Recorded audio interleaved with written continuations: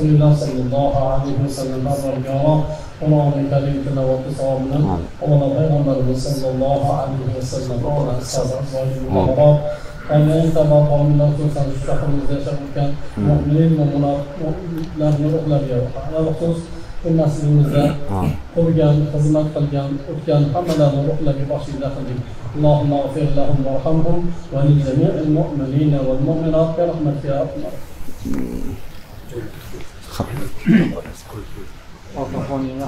Bismillahirrahmanirrahim. Elhamdülillah vahda. Ve salatu ve selamu ala men la nebiye ba'da. Esselamu aleyküm ve rahmetullahi ve berekatuhu. Muhterem cemaat.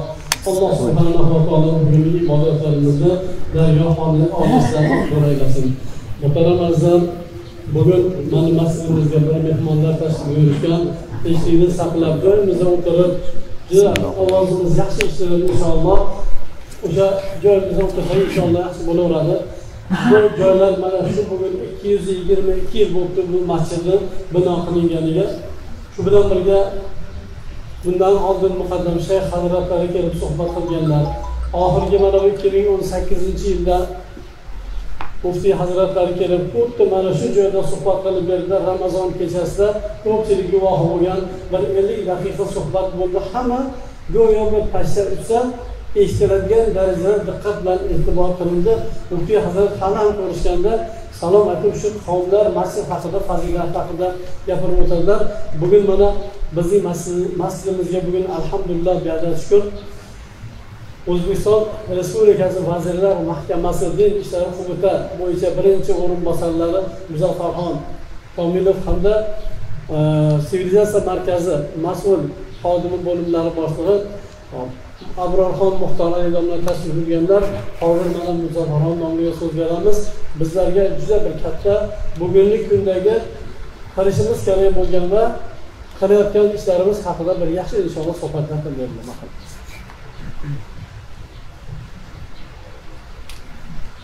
بسم الله الرحمن الرحيم الحمد لله الصلاة والسلام على رسول الله أما بعد السلام عليكم ورحمة الله وبركاته va alaykum assalom ikki og'iz bo'lsa ham shu salomlashib qo'yish siz azizlar bilan ko'rishib qo'yish uchun hozir so'z so'radik alloh taolo hammamizni mana shunday bir tinchlikda omonlikda sihat salomatlikda ko'rishib turgani uchun o'ziga beadab sanolar bo'lsin alloh taolo hammalarimizni oilalarimizni farzandlarimizni yaqinlarimizni har qanday balodan shikast ofatdan har xil vabolardan o'zi saqlasin.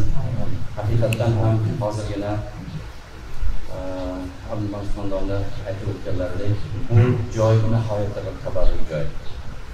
Haqiqatdan ham bu yerda juda bir ulug' ulug' bir insonlar yashab o'tishgan xizmat qilishgan mana shu o'tirgan joyimiz madrasa bo'lgan bu yerda juda ko'p olimlar ulamolar yetishib chiqishgan va ayniqsa mana shu masjid bo'lib faoliyat ko'rsatayotgan paytda mana shu mustabid tuzumni haqiqatdan ham aytamiz. Dinimizga nihoyatda ko'p musibatlar bo'lgan paytda ham bu masjidda alhamdulillah azon tovushi to'xtamagan shuning uchun shu nuqtai nazardan ham bu masjid biz uchun qadrli doimo hammamizga dinimizga xalqimizga xizmat qilib kelgan bir ajib bir maskan desak to'g'riroq bo'ladi. Alloh taolo mana shu maskanni fazilatli barakotli qilsin.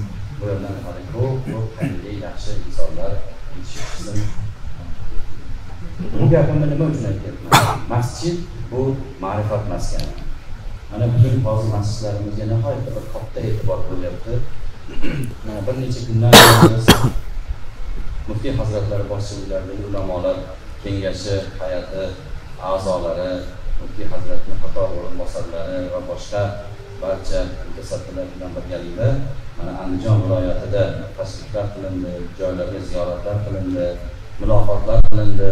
Muloqotlarni asl mohiyati mana shu sizni biz azizlarni hamyurtlarimizni muammolari hamyurtlarimizni qiynab kelayotgan diniy sohadagi tashvishlari desak to'g'riroq bo'ladi va takliflarni hammasini o'rgangan holda xudo xohlasa bir yaxshi takliflarni yaxshi bir xizmatlarni taqdim etish niyatida hozir e, amalga oshirilyapti bu tashriflar.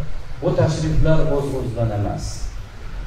Bugun davlatimiz rahbari shu sohadagi ishlardan xotirjam emaslar. Yana nima qilsak xalqimizni biz og'irini yengil qilib beramiz? Yana nima qilsak xalqimizni biz rozi qilamiz? Qani borib o'rganib muloqot qilib joylarda bekorga masjidlar tanlanmadi. Bu tashkiliy jarayonda bo'lganim uchun aytyapman oldin o'yladik mana turli katta katta bir muloqot zallaridarmikin mana maktablarda bor hokimiyatlarda bor boshqa bor. Mana shu faollarni chaqirib fikrini olaylik deyilgandan keyin taklif bo'ldiki bugun masjid ma'rifat markazini ma'rifat maskanini mana shu masjidlarda turib muloqot qilaylik bu yerga mana shu sohada ya'ni dinni tashqida ibodatni qayg'usida yurgan odamlar keladi. Ularni dardini bilaylik degan mazmunda taklif etildi va mana siz azizlar bilan bu yerda alhamdulillah ko'rishib turibmiz. Mana e, masjidlar haqida ko'p suhbatlarda ham aytib o'tyapmiz azizlar shukur qilishimiz kerak. Masjidlarimiz ochilyapti masjidlarimiz ta'mirlanyapti. Masjidlarimiz qayta qurilyapti. Bu juda katta e'tibor beriladi oxirgi besh yil ichida to'rt yuz ellikdan ortiq masjid tubdan qayta qurildi. To'rt yuz ellikta bu juda katta mablag' xarajat va mehr va e'tibor talab qiladigan holat. Hali bu ishlarimiz davom etyapti. Hozir ikki yuzga yaqin. Bir yuz sakson oltita ro'yxat bo'yicha masjidlar turibdi. Bularni ham qaytadan juda bir zamonaviy chiroyli suratda xudo xohlasa shakllantiriladi va xalqimizni xizmatiga taqdim etiladi. Diniy ma'rifiy soha ta'lim sohasida juda katta o'zgarishlar bo'lyapti. Mana har gal bitta gapni qaytaravermaylik zeriktirib qo'ymaslik uchun mana xudo xohlasa xalqimizni mana qur'on kurslariga bo'lgan ishtiyoqi qur'on o'qishga qur'on ilmiga bo'lgan harisligi qiziqishi intilishini hisobga olib xudo xohlasa yangi yangi loyihalarni taqdim etyapmiz. Asta sekinlik bilan buni ham to'liq qamrov ya'ni sifat nuqtai nazaridan amalga oshiramiz. Nima uchun sifat? Joyi o'sha kurslar o'qitiladigan joyi talabga javob berishi kerak. O'qitayotgan mudarris talabga javob berishi kerak. Har kimni ham qo'liga qur'onni ishonib topshirib bo'lmaydi. Agarda muallimini o'zi ustozini o'zida xatolik bo'lsa bilingki shogirdga ham shu narsa ko'chadi. Buni to'g'irlab olmaydi. Shuning uchun ustozlarni saralab olish ularni moddiy ta'minoti mablag'i va mana shularni bitirgandan keyin va hokazo ancha bu yerda savollarimiz bor o'zimizni oldimizga qo'ygan xudo xohlasa bu narsalar yechilyapti. Va inshaalloh yaxshi bir e, xayrli loyihani boshlaganmiz. Qaytarish zarari yo'q. Bu ham bo'lsa mana e, onlayn platformadagi ta'limni yo'lga qo'yish. Bu ham o'zbekiston xalqaro islom akademiyasini bevosita bazasi tashkil etiladi. Bu ishlar hozir boshlandi. Nazariy jihatdan tashkiliy jihatdan qanday qilamiz? Qanday qilsak qulay bo'ladi? Qanday qilsak to'g'ri bo'ladi? Qanday qilsak bugun bizni qonunchiligimizga mos bo'ladi? Qanday qilsak bizni dinimizga aynan shu shaklda maqbul bo'ladi va o'sha o'qiyotganlarimiz o'qiyotganlarimizni talablari qanday bo'ladi hamma tomonni o'ylab xudo xohlasa bir yaxshi takliflarni tayyorlaymiz duo qilasizlar inshaalloh. Gapiradigan gaplarimiz nihoyatda ko'p yangiliklarimiz judayam ko'p. Mana o'zlaring ko'rib turibsizlar. Sekin astalik bilan bu sohadagi diniy sohadagi xalqaro munosabatlarimiz ham iziga tushyapti.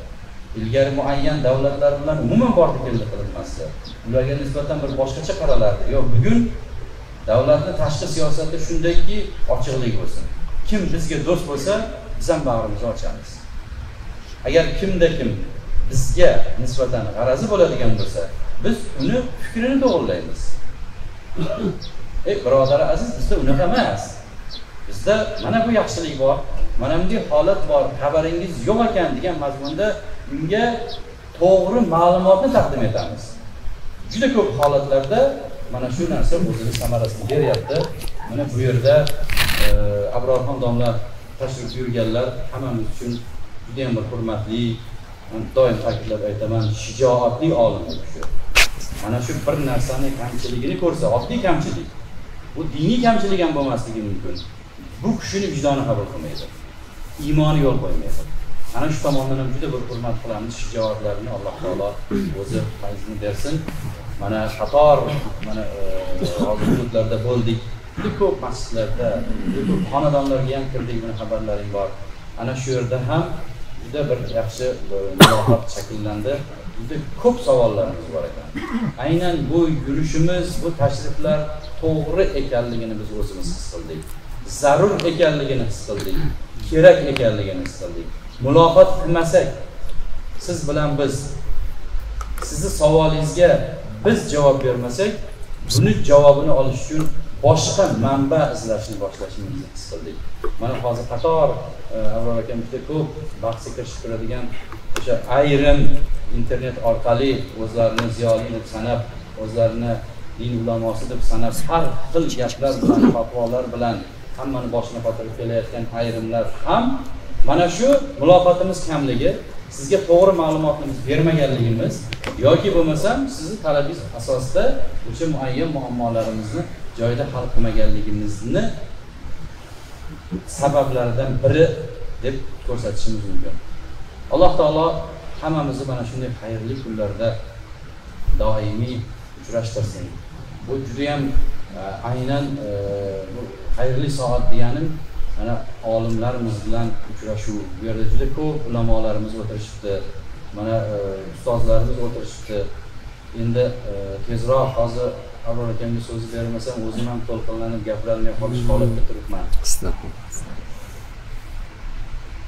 Bu hududni shu masjidni shu yoshligimizdan bilamizda har bir g'ishini bilaman.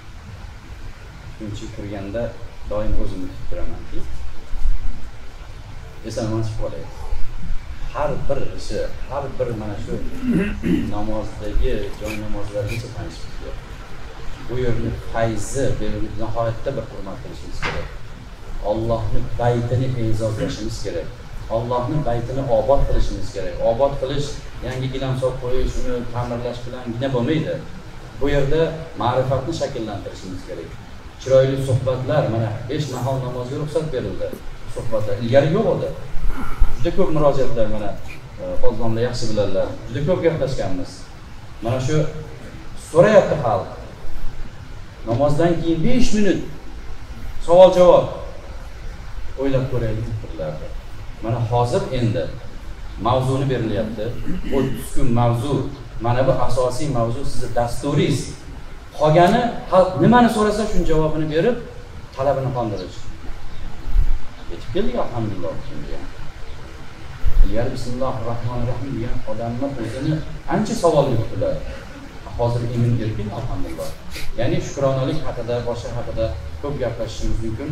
Azizlar yana qaytarib aytaman vaqtimizni qimmatli vaqtimizni e, chegaralangan ekanligini hisobga olgan holda hozir ruxsatingiz bilan mamnuniyat bilan so'zni hozirgi aytganimdek yurtimizni eng o'sha zabardast olimlaridan shijoatli olimlaridan abrorxon nomida gap beramiz marhamat abror بسم الله الرحمن الرحيم الحمد لله رب العالمين بسم الله الرحمن الرحيم الحمد لله رب العالمين والصلاة والسلام على رسولنا محمد وعلى آله وأصحابه أجمعين أما بعد السلام عليكم ورحمة الله وبركاته عزيز وقدردان برادرlar otaxonlar aka ukalar bugun sizlar bilan inshaalloh bu majlisimizda ba'zi ilmiy suhbatlarni suhbatlashsak umidimiz bu majlis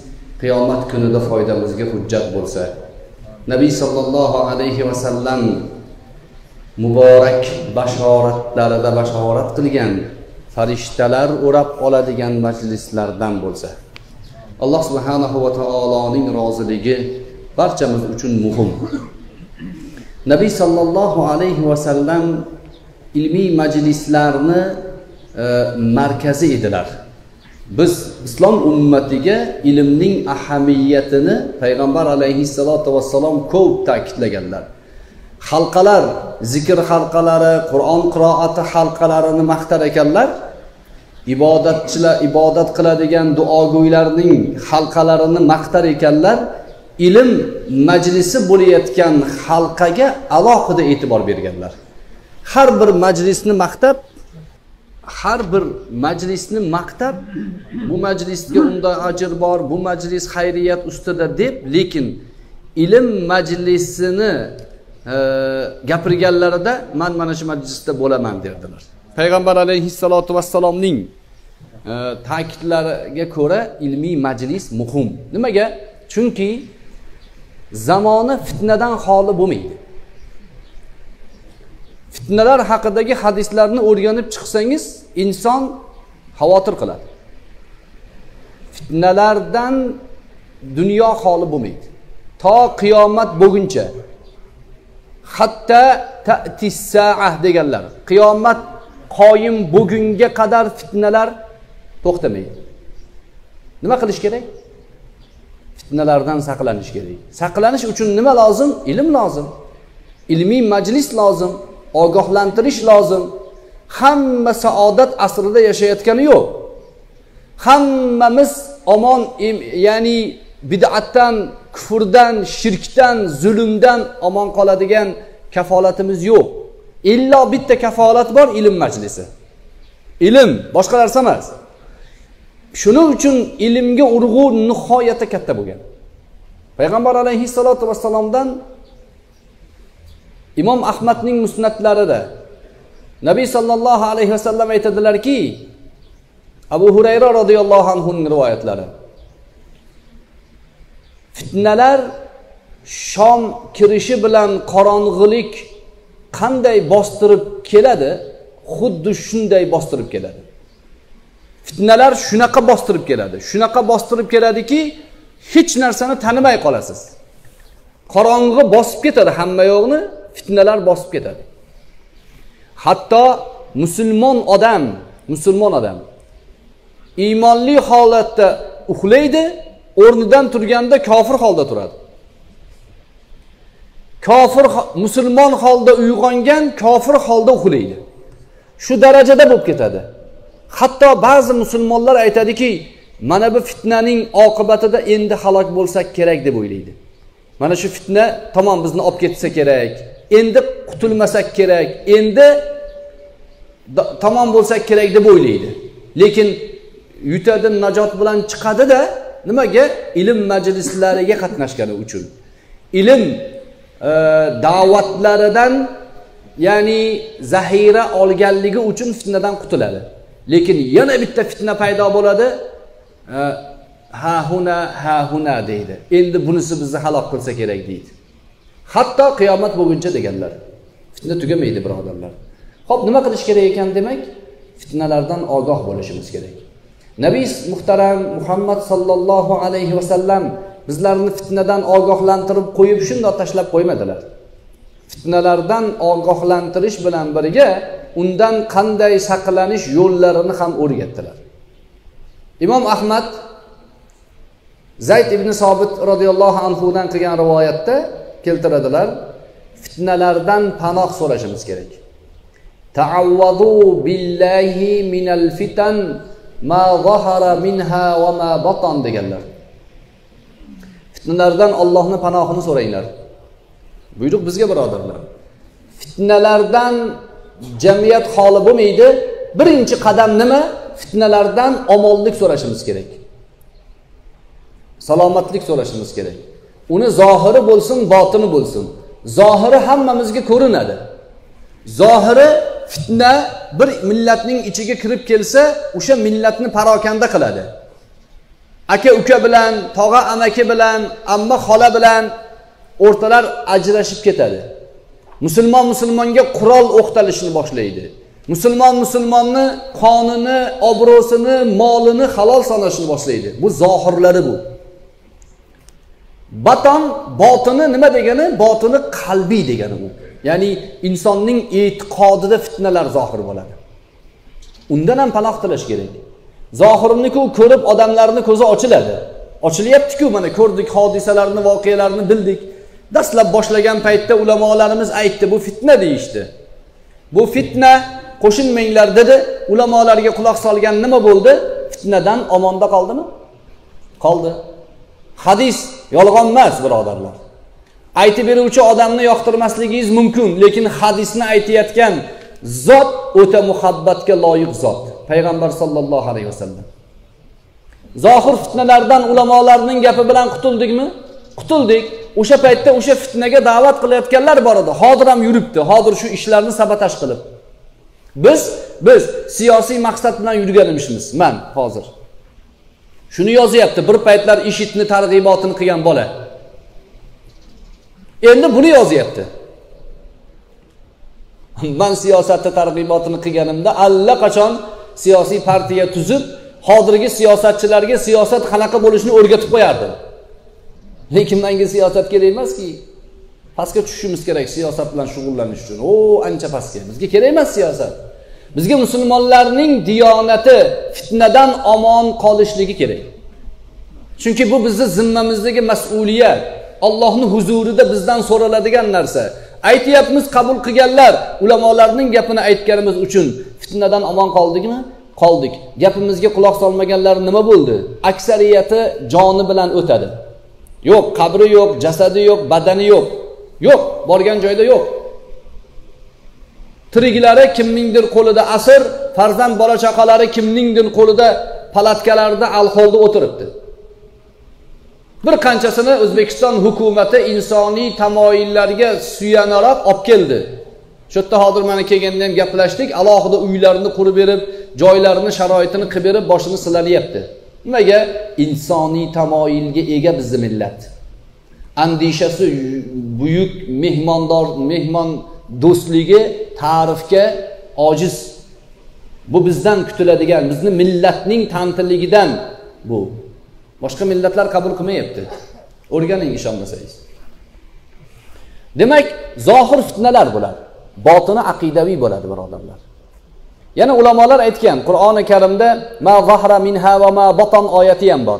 Fitnalar e, zaharol fasadu fil barri val bahr bima kasabat aydin nas. Odamlar qilgan ishlari sababli dengizlarda ham quruqliklarda ham fasod zohir bo'ldi. Qur'ondagi oyat bu. O'shani ma zahara minha va ma baton fitnaga tafsir qiladi ulamolar. Dengizdagi fitnalar nimadan iborat? Nima u dengizdagi fitnalar desa dengizdagi fitnalar qalbiy fitnalar. Qalbimizda fitnalar paydo bo'ladi. Qanday paydo bo'ladi? Insonning ilmiy mustahkam e'tiqodi shakllanmasa qalbida fasod paydo bo'ladi. Nomi nomigina bor o'zini nomi emas u ham. Masalan yusuf davron deydida bitta gapni gapirsa kimligini bilmaysiz tanimaysiz qalbida o'shanga qarab e, ya'ni shubha boshqa narsa e, ergashish bo'laveradi. Fitna bu birodarlar. Farruh degani paydo bo'lib qolibdi. Kim u? Ko'rmagan yuzini ham tanimaydi hech kim tanimaydi uni bilmaydi. Lekin gapi yoqaveradi qalbiga. Nimaga? Qalbda qalbida fasod zohir bo'lgan. Fitnaga moyillik bor. Bundan saqlanishni yo'li faqat va faqat ulamolarning tavsiyasi boshqa yo'l yo'q. Больницаga borsangiz u yurakni tuzatib bo'lmaydi u doktori yo'q uni. Uni doktori ulamolar. Ho'p seni nima ishing bor? Xohlaganimni eshitaman. Desa aytamizki ishim yo'q. Ertaga yig'lab qaytib kelolmay pushaymon qilishingni oldini olib aytyapmiz. Yig'laysan pushaymon qilasan. Meni ya'ni e, tomorqamda dehqonchilik qil deyotganim yo'q senga. Manga mutlaqo foydang yo'q seni. Balki man seni ogohlantirar ekanman seni tuzoqqa tushirmoqchi bo'layotgan siyosiy kuchga dushman bo'laman man. Meni dushman ko'radi ular. Bu gapni gapirsam ba'zilari kalaka qildi. Endi isboti chiqib turibdi ko'rib turibdi hammasi.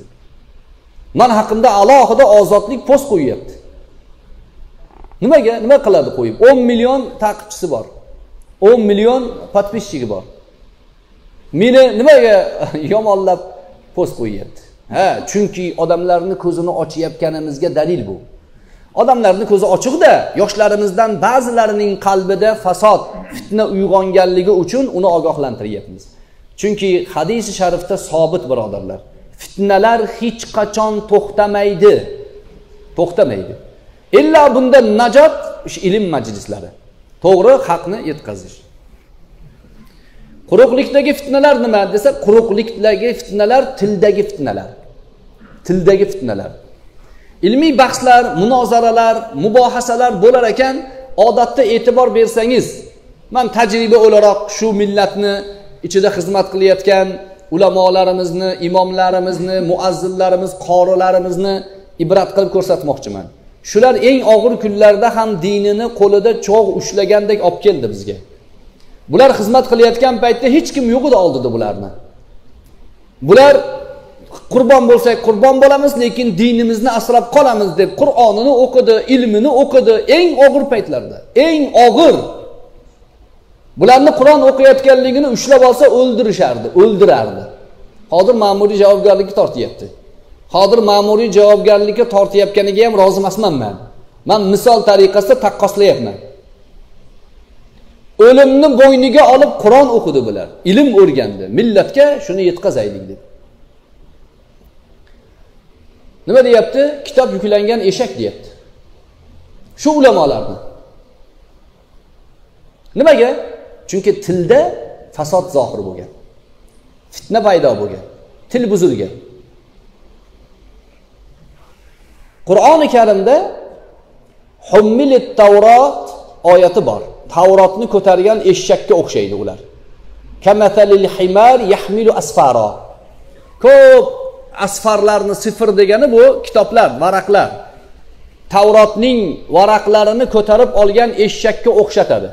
Qur'oni karim bani isroildagi bir toifani. Nimaga?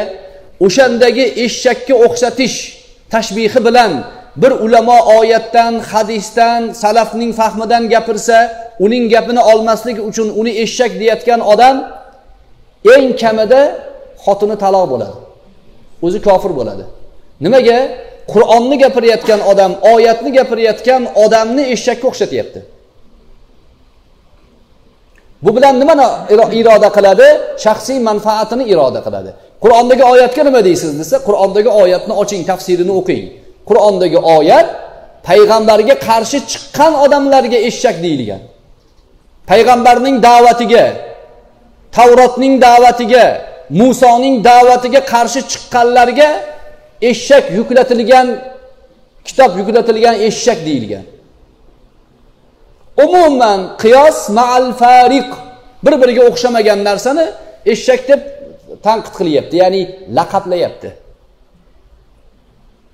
Bularda tilda fasod bor. Tilda fasod bor. Payg'ambar alayhissalotu vassalom muod ibn jabalga aytganlar shuncha sanga nasihat qildim shuncha nasihat qildim yodlab ol. Lekin senga bitta narsa o'rgataman o'shanga mahkam bo'lsang hammasini qo'lga kiritasan. Nimaga deganda muborak tillarni ushlab bunga ehtiyot bo'l deganlar. Tilga ehtiyot bo'l. Yo allohni rasuli shu til bilan gapirganimiz bilan ham so'ralamizmi qiyomatda deganda hey onang yo'qotib qo'ygur hey onang yo'qotib qo'ygur jahannamga odamlarning yuz tuban tushishligining asosiy sababchisi til.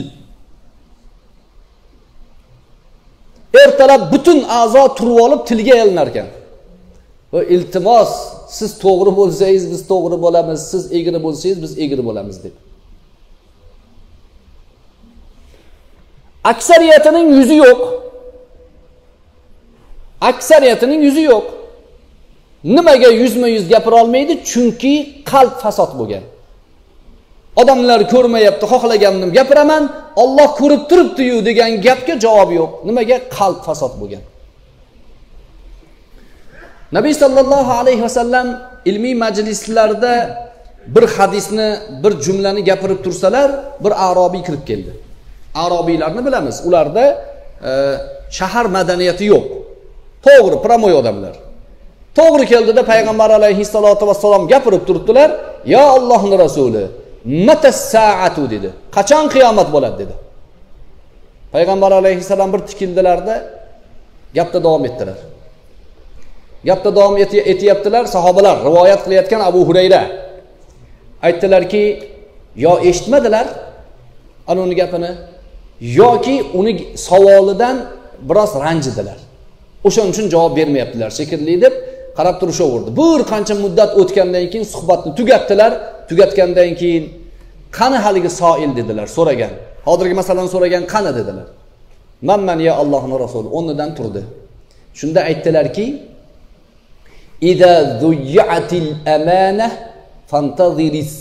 dedilar. Agar omonatlarga xiyonat qilinsa qiyomatni kutaver dedilar.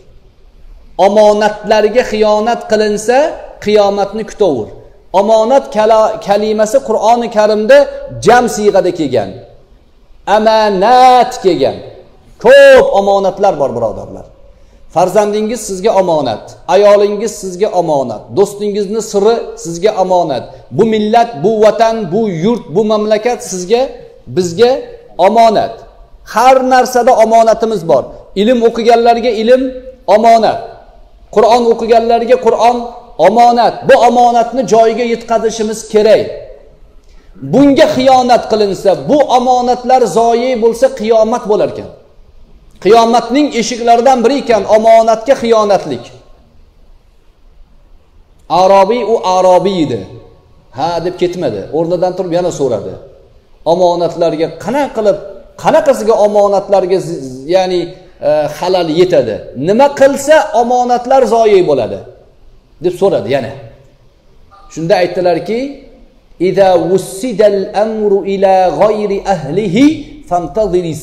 dedilar. Agar ishlar egasidan boshqaga topshirilsa qiyomatni kut dedilar. Omonatlar zoyi bo'lishligi ishlarni egasidan boshqalar qo'lga olganda bo'lar ekan qiyomatning alomatlaridan biri bu ekan. Hozir bozorga kirdik. Masalan bozorga kirsangiz bir rastdan non sotyapti. Non sotadigan joyga borsangiz bir uyum bir qopda kartoshka to'kib qo'ygan bo'lsa nonlarni ichiga. Non sotadigan kartoshka sotishni bilmaydi u. Zoye bo'ladi. Kartoshka do'konga borsangiz go'shtni qo'yib qo'ygan bo'lsa kartoshkani ustiga. Bo'lmaydi. Ayzuddin ibn abdussalom aytadilar ehkomul qavoid degan kitoblarida. Bu ming yil oldingi odam bu. Islom ulamolarining yorqin yulduzlaridan. Omonatlar har shaxsning o'ziga berilishi kerak. Keksalarga o'zlarini omonati. Ular xalqqa tajribalarini o'rgatish kerak xalqimizni haqqida duo qilishlari kerak ibodatlarida mustahkam bo'lishlari kerak. Yoshlarning vazifasi shularni ko'nglini olish kerak xizmatini qilish kerak jamiyatga foydali ish qilish kerak. Talabalar ilmiga javob berish kerak. Tabiblar tibbiy sohasiga javob berish kerak. Har kim o'z vazifasini qilish kerak. Shunda rivojlanish bo'ladi. Tibbiyot sohasining egalarini qo'liga qo'liga harbiylarning qurol aslahasini berilsa harbiylarning qo'liga tibbiyotning qurol aslahalari berilsa olimlarning qo'liga ketmon berilsa dehqonlarning qo'liga kitob berilsa qiyomat bo'ladi. Mana shu narsalar bizni fitnadan omon qolishimiz uchun o'rgatilgan hadislardagi ta'limotlar birodarlar. Bugun diniy diyonat haqida gapirayotgan odam qiyomatni chaqirayotgan odam agar u o'sha sohaga noloyiq bo'lsa qur'onni bilmasa hadisni bilmasa salafni tanimasa noloyiq odam. To'g'ri gapni mana biz e'tibor bergan bo'lsanglar maydondamiz. Hammamiz bir birimiz bilan yuzma yuzmiz. E, ba'zi masalalarda ibn hajar asqaloniyni fathul boriy degan asarlari bor. Ko'pchilik biladi. Buxoriyni sharhi. Payg'ambar alayhissalotu vassalom fitnalar haqida gapirganlarida avval duo qilganlar. Allohim ya'ni yamanga baraka bergin madinaga baraka bergin deb shaharlarni sanaganlar. Shunda yo allohni rasuli bizni iroq ya'ni iroq o'sha joyda mashriq tomon. Mashriqimizni ham duo qiling deyishgan. Deganda payg'ambar alayhissalotu vassalom u tomondan fitna zohir bo'ladi deganlar. Shaytonning shoxi chiqadi u yoqdan deganlar duo qilmaganlar. Ba'zi rivoyatlarda najid haqida gap ketadi najid. Najidiylar najdiylar haqida gap ketadi. Ibn hajar aytadilarki deyarli barcha fitna mashriqdan chiqdi deydilar. Payg'ambar alayhissalotu vassalomning bashoratlari ogohlantirishlari qadariylar o'sha yerdan chiqdi havorijlar ilk havorijlar iroqdan chiqqan. Hazrati aliga qarshi chiqqanlar shular. Eng oxiri ham shu yerdan chiqadi. Havorij qo'liga avtomat olib sizni bizni jihod deb chaqirayotganlar boru. Shomning barakasi bor shom undoq shom mundoq deyayotganlar fitna hadislarida ba'zi hadislarni yo o'qimagan yo berkitadi ular. O'sha hadislarda biz jihod qilyapmiz degan bir jamoa dajjol chiqqanda dajjolga ergashadi. Nimaga? Qalbidagi fasod sababli. Ulamolarga nisbatan behurmatligi sababli. Ilmning ro'barosiga chidamaganligi yaramaganligi sababli. Shu bilan birga samimiy qalbi bo'lmaganligi sababli ergashadi. Shia ham rofiza ham mo'tazila ham mujassima ham o'sha yerdan chiqdi. Mashrig'idan chiqdi. Alboniyni ko'pchilik biladi. Alboniyni bir gapi bor. Alloh rahmat qilsin. Man deydi najdga bordim deydi. Alboniy haqida gap ketyapti. Bilasizlar bu gapni biz ovozligini ham yaqinda qo'yaman inshaalloh. Alboniyning o'zini gapini. Najdga borsam deydi juda takfiriy ekan odamlar deydi. Alboniy shikoyat qilyapti. Najdiylar takfiriy ekan o'ta mutashaddid ekan. To'g'ri kelgan odamni kofir deb yuborishar ekan axir vasilani shavkoniy joiz degan vasilani joiz jihatlari bor deyapti. Alboniy aytyapti. Man vasila haqida gapirsam meni kofir deyishyapti. Alboniyni o'ziga imom deganlar. Najid shart o'sha. Payg'ambar alayhissalotu vassalom duo qilmagan joy. Oxirgi ummatning fitnalaridan eng katta fitnalaridan bittasi o'sha salafiyman vahobiyman deyayotgan odamlar tarafidan bo'lyapti. Man doim jumlamni kuzatgan bilganlar biladi. Man ularga ham hurmat e, nazari bilan muomala qilaman. Ularga nisbatan kamsitmayman aslida. Agar bizga hujum qilmasa hujum qilsa javobini oladi. Muomalatil misl haqqimiz bor bizni. Salomiga alik berishimiz kerak. Indamasangiz maydonni bo'sh deb o'ylayapti.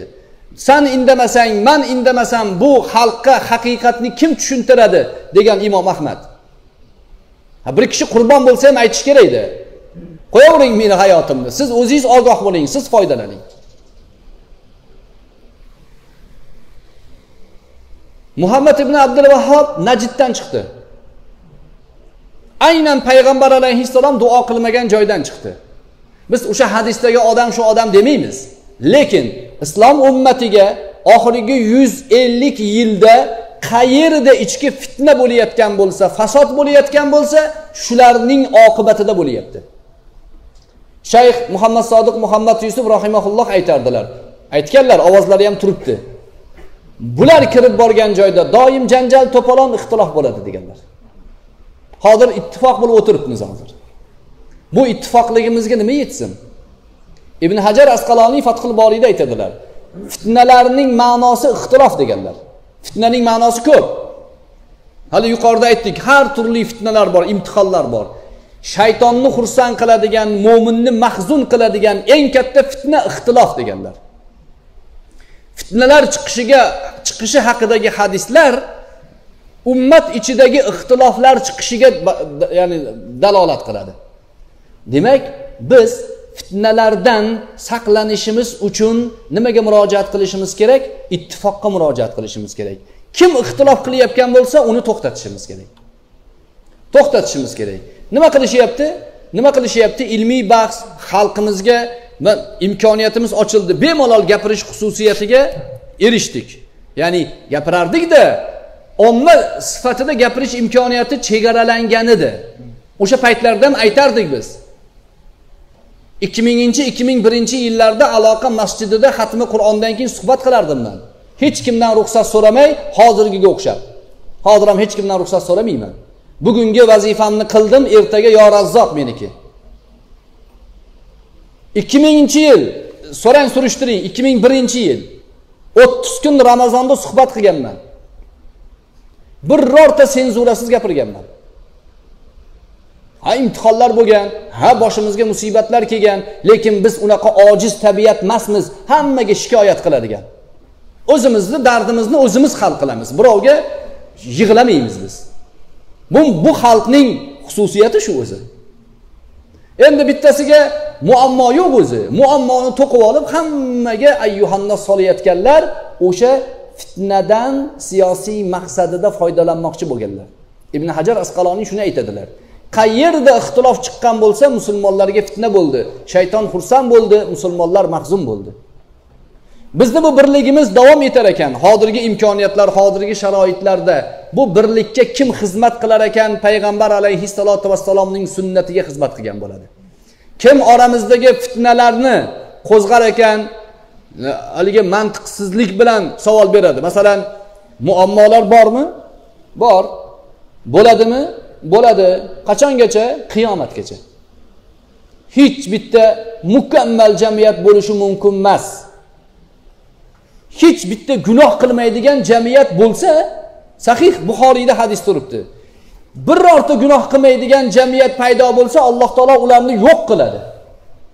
O'rniga boshqa bir jamiyatni olib keladi ular gunoh qiladi. Tavba qiladi olloh ularni tavbasini qabul qiladi. Ja o'zini sizdan sizdan bizdan shuni talab qilyaptida. Mana bu xatoying bor mana uni to'g'irlashing kerak mana uni ha xatolarni to'g'irlashga harakat qilamiz. Lekin man xatosizman demadimki. Hm, orqamda qanoti yo'q mana qaranglar. Uchadigan farishta emasman man. Hammamiz ham bir xilmiz. Qondan suyakdan jondan e, iborat suvdan iborat insonmiz biz. Lekin mana shu inson xatolari bilan yuzlashalaroq bir ittifoqda bu muammolarni yechishlikni payg'ambar alayhissalotu vassalom o'rgatganlar. Payg'ambar alayhissalotu vassalomning dalillarini keltiryapmiz biz. Nimaga mana bu masala unaqa deyapti manga man qayerdan bilay? Bo'ladi unaqa nimaga ro'molga qarshilik bor? Bilmayman. Qiyomatgacha bo'lsa kerak qarshilik. Tashlab yechib yubormoqchimisiz? Nimaga falon narsaga mumkin emas tashlab yubormoqchimisiz? Mandan nimaga so'rayapsiz? Qarshilik bo'lsa ham amal qilasiz. Sabr qilasiz o'sha amalda davom etasiz. Ha muammoni o'yla ba'zi odamlar o'ylar ekan biror bir gapni gapirsa hal bo'ladi deb gapirsan derkan. Yo'q man ham ko'p muammolarda yecholmay yuribman. Lekin dardimiz bir birodarlar. Hammamiz bitta insonmiz. Bitta oilamiz bitta millatmiz. Lekin shu millatning buyuk taqdiri tarixi buyuk ajdodlari erishgan yutuqqa erishishlikni xohlaymiz. Kitoblarda o'qib ko'rdik biz uni. Hayotda yashaganligini bildik. Biz ham qila olamiz shuni deyapmiz. Uning uchun nima qilish kerak? Ilk avvalo ichimizdagi ixtiloflarga barham berishimiz kerak. Hasadgo'y fitnachilarga qo'shilmasligimiz kerak. Bittasi montaj qilib qo'yyapti. Montajni davom ettirishyaptida odamlar ko'p takrorlangani uchun uni rost deb o'ylayapti muslimalarni abror muxtor ali jinoyatchi dedi deb yozib qo'yibdi. Qayerdan aytdimikinman qaysi muslimani jinoyatchi dedimikin deb jinoyatchilar haqida aytgan gapimni kesgan muslimalar e, haqida aytgan gapimni kesib yonma yon qo'yib qo'ygan bo'ldi. Orqasiga yig'lagan mazlum bo'lgan muslimalarni videosini qo'yib qo'ygan. Shu bilan bo'ldi. Qachongacha qachongacha bu yolg'onlari davom etarkan ozgina fursatdan keyin fosh bo'ladi. Uzr uzr so'rataman desangiz yo'q. Yo'q o'zi yo'q. Troll. Katta katta zotlarni nomini qo'yib olgan o'ziga. O'shalar fitna birodarlar. Fitna. Kecha oldingi kuni osmon musaffoligi haqida gap ko'pda bu siyosiy gap bo'lib qolganligi uchun odamlarni me'dasiga tegib qolgan. Gapirsangiz siyosiy gapga o'xshab qolgan. Bu siyosiy gap emas o'zi. Osmon musaffo deyish bizni mamlakatimizda tinchlik degan gapdan majoz o'zi. Majoz. O'sha majoz ma'nosida tinchlik ne'matmi? Ha ne'mat. Bunga shukur qilish kerakmi? Qilish kerak. Buni himoya qilish kerakmi? Qilish kerak. Kimda kim shu tinchlikka rahna soladigan ish gap harakat qilayotgan bo'lsa u xoin. Deyarkanmiz dalilimiz bor bizni shuni hozir siyosatchilar qo'yib yotibdi ekan. Haligi e, kaltagi yeb bir o'n besh kun ko'rinmay keyin yana paydo bo'lib qolib hozir siyosatga kirib kelyaptiyu bittasi. Siyosatga kirib kelolmaydida shaldir shuldir qilib yuribdi. Shular harakat qilyapti intilyapti shunaqa narsaga. Bizni ulardan e, maqsadimiz bir emas xohlaganini qilsin lekin birodarlar tinchlik haqida payg'ambar alayhissalotu vassalomning hadislari bor. Ne'matan azimatan deganlar. Ikkita katta ne'mat bor. Bittasi sog'lik bittasi tinchlik shu. Ko'p odam buni qadriga yetmaydi deganlar payg'ambar alayhissalom. Keksalardan so'rang yoshlikni ne'mati qanaqaligini. Qarilik gashtini maqtashdan ko'ra muxbir bolam uni bizlardan so'ra degan bir qariya. Erkin vohidiyni ajoyib she'ri bor meni onam aytib yurardilar buni. Alloh rahmat qilsin dadamni onalari. Bemor odamdan so'rang sog'larning ne'matini. Mehr operatsiyasi bilan kelgan iroqdan kelgan odamlarni mahallangizda bo'lsa kirib ikkita non bilan to'rtta e, oq qand ko'tarib olib kiringda so'rang so'rang. Ne'matni so'rang. Tinchlik ne'mati qanaqa ne'mat deb so'rang. Bu gapni qanaqa siyosiy ma'nosi bor? Man bu gapni qirg'izistonlikka ham aytyapman. Jonli efirda hamma ko'ryapti bizni? Man bu gapni qozog'istondagi tojikistondagi birodarlarimizga ham aytyapman. Tinchlikmi? Mahkam bo'ling harakat qiling. Muammolar o'zingizniki yechimga urinavering urush bo'lsinmi? Musaffo osmon deb kulib montaj qilishyapti. Bu ham bitta bir qadam oldindagi xo'rak bu birodarlar. Bekorga gapirganimiz yo'q buni. Sizlarga haqiqiy xoinlarni kimligini ko'rsatish uchun ataylab tashladik. Bemalol baliqlarni tutib olaveringlar endi. Yozib olinglar bu xoinlarni. Xoin bular xoin. Kecha qur'onni o'zgartirish kerak hadisni isloh qilish kerak masjidlarni buzib tashlash kerak zakotni bas biz xohlagan joyga berish kerak degan neo jadidchilar bor. Orqa sevarlar partiyasining a'zolari. Shular bu ishlarimizni shunaqangi sabotaj qilishyapti. Endi bugun bunaqasiga. Kecha lgbt bilan hujum qilishni kuchlari yetmadi. Nimaga? Millatning g'ururi ularni sindirib tashladi. Bugun u masala yopildi ular o'ni nolga yutqizyapti hozir. Hech yo'q hozir bitta gol uraylik deb hozirgi masalamizni siyosiylashtirishyapti. Ular siyosiylashtiryapti. Man siyosiy lider emasmanki xohlamayman ham siyosatni. Bizni masalamizni siyosiy harakat deb ataylab sabotaj qilishyapti. Maqsadlari o'zlarining ishlarini siyosiylashtirib olish. Har kim maqsadiga ko'ra inshaalloh niyatiga yetadi. Nabiy sollallohu alayhi vasallam amru ila g'ayri ahlihi fantaziri dedilar. Qiyomatni kutaver ishlar o'z ahlidan boshqaga topshirilsa. Shu masalada birodarlar e'tiqod masalasi bor. Fiqhiy masalalarimiz bor. Ibodat masalalarimiz bor. Muomalat masalalarimiz bor. Bunaqa masalalarda o'zingizdan o'zingiz bahslashmang tortishmang gapirmang. Fitnaga tushib qolasiz. Payg'ambar alayhissalomning ko'rsatmalari bu. Egasidan boshqa odamga topshirib bo'lmaydi uni. Masala chiqib qoldimi? Darrov. Qozi domla borlar imom bor keling so'rang. Bularni qo'llarida imkoniyatlar bor. Idorada diniy idorada muftiy hazrat boshchiligida ulamolar kengashi bor.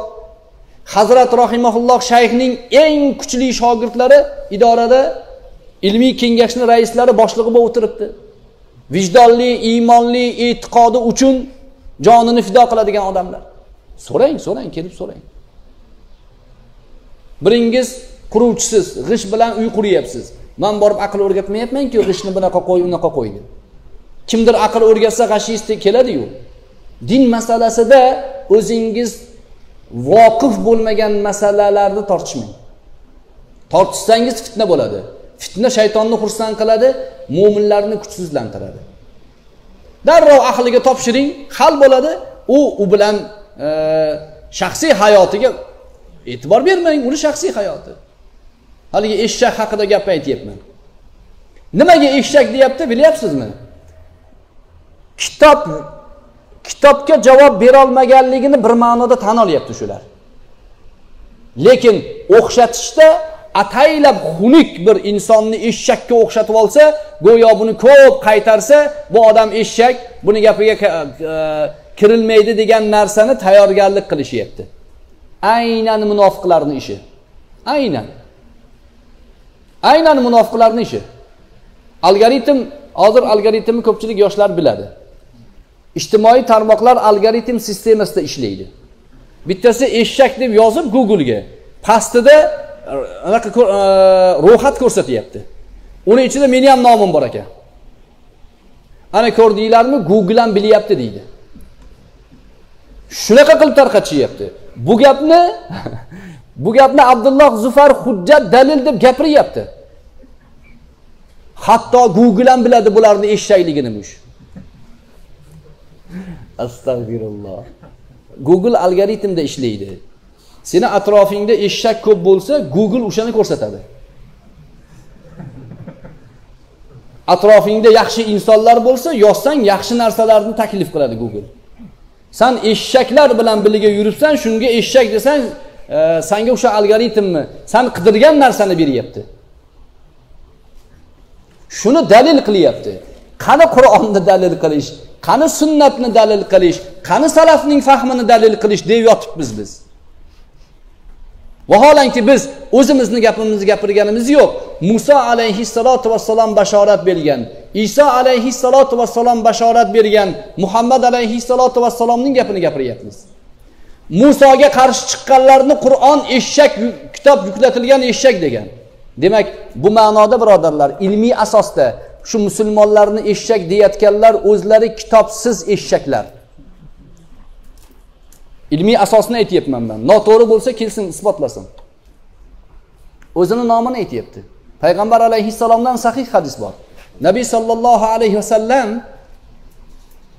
bir musulmonni it eshak degsa bir odam. Qiyomatda olloh uni tiriltirganda man bu bandamni inson qilib yaratgan edim. San buni eshak deding eshak qilib yaratganimga dalil keltir deydi. Javob berguncha azoblaydi. Javob berolmaydi azoblaydi. Shunga qo'shilayotganlar bor. Birodarlar fitna bu. Gobbels sistemasi bor. Ko'p aytganmiz. Gobbels gitlerni axborot e, ya'ni targ'ibot tashviqot ishlari bo'yicha maslahatchisi bo'lgan. Shu odamlarni obro'sizlantirish uchun shunaqangi taktikalarni gitlerga o'rgatgan. Gobbels o'qinglar sistemasini o'qinglar. Bir odamni bir laqabni qo'yib olib to'xtamasdan gapiraversa gapiraversa gapiraversa u shunaqa bo'lmasa ham odamlar ichida shu tarqalib qoladi keyin unga nisbatan e, xohlagan ishni qilish mumkin deydi. Kofirlarni sistemasi bu yolg'on sistema bu. Yolg'on sistema. O'zlarini sistemalarini o'zlariga uryapmiz ba'zida. Sunnat inkorchilar chiqqan edi arablar qur'oniyun deydi. Biz ularni besunnatlar deb oldik nomini. Ikki xil ma'nosi bor uni. Yaqinda ana lgbtchilar chiqdi. Madaniy suratda lgbt lgbt biz ularni orqa sevar deb qo'ydik. O'zlarini sistemalarini o'zlariga uryapmiz. Bizniki yolg'on emas lekin birodarlar. Ular mana shu asos bo'yicha noto'g'ri yolg'on tashviqotni qilishyapti. Biz to'g'risini aytyapmiz. Ha ular orqa sevarlar. Bu fitnalardan ogoh qilgan payg'ambar alayhissalotu vassalomga salotu salomlar bo'lsin birodarlar. To qiyomatga qadar bu ummat ya'ni yengilmaydi. Bu aniq aniq.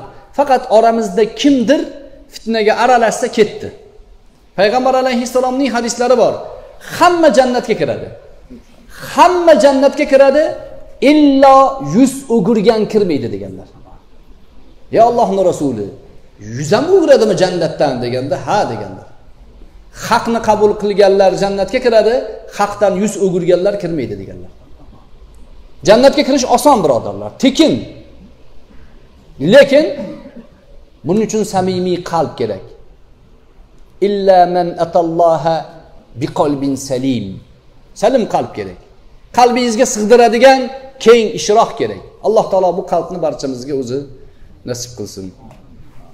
Savol javob rukunimiz ham bor. Ozgina savol javob qilaylik keyin inshaalloh e, keyingi bizni rejalarimiz bo'yicha yurishni davom ettiramiz. Qani bismillah. Islam haqida gapirib bersangiz arada hozirgi paytdagi muammolar o'rtasida masalalar arasida Э, rahmat mazhablar haqida ozgina gapiring fitna chiqib qolyapti shu masalada deyaptilar. O'sha o'sha masalani bilganim uchun biroz e, uzoqroqdan gapirdim lekin e, qo'qon xalqi ishoradan tushunib oladi. Chunki e, chuqur madaniyatga ega xalq bu xalq.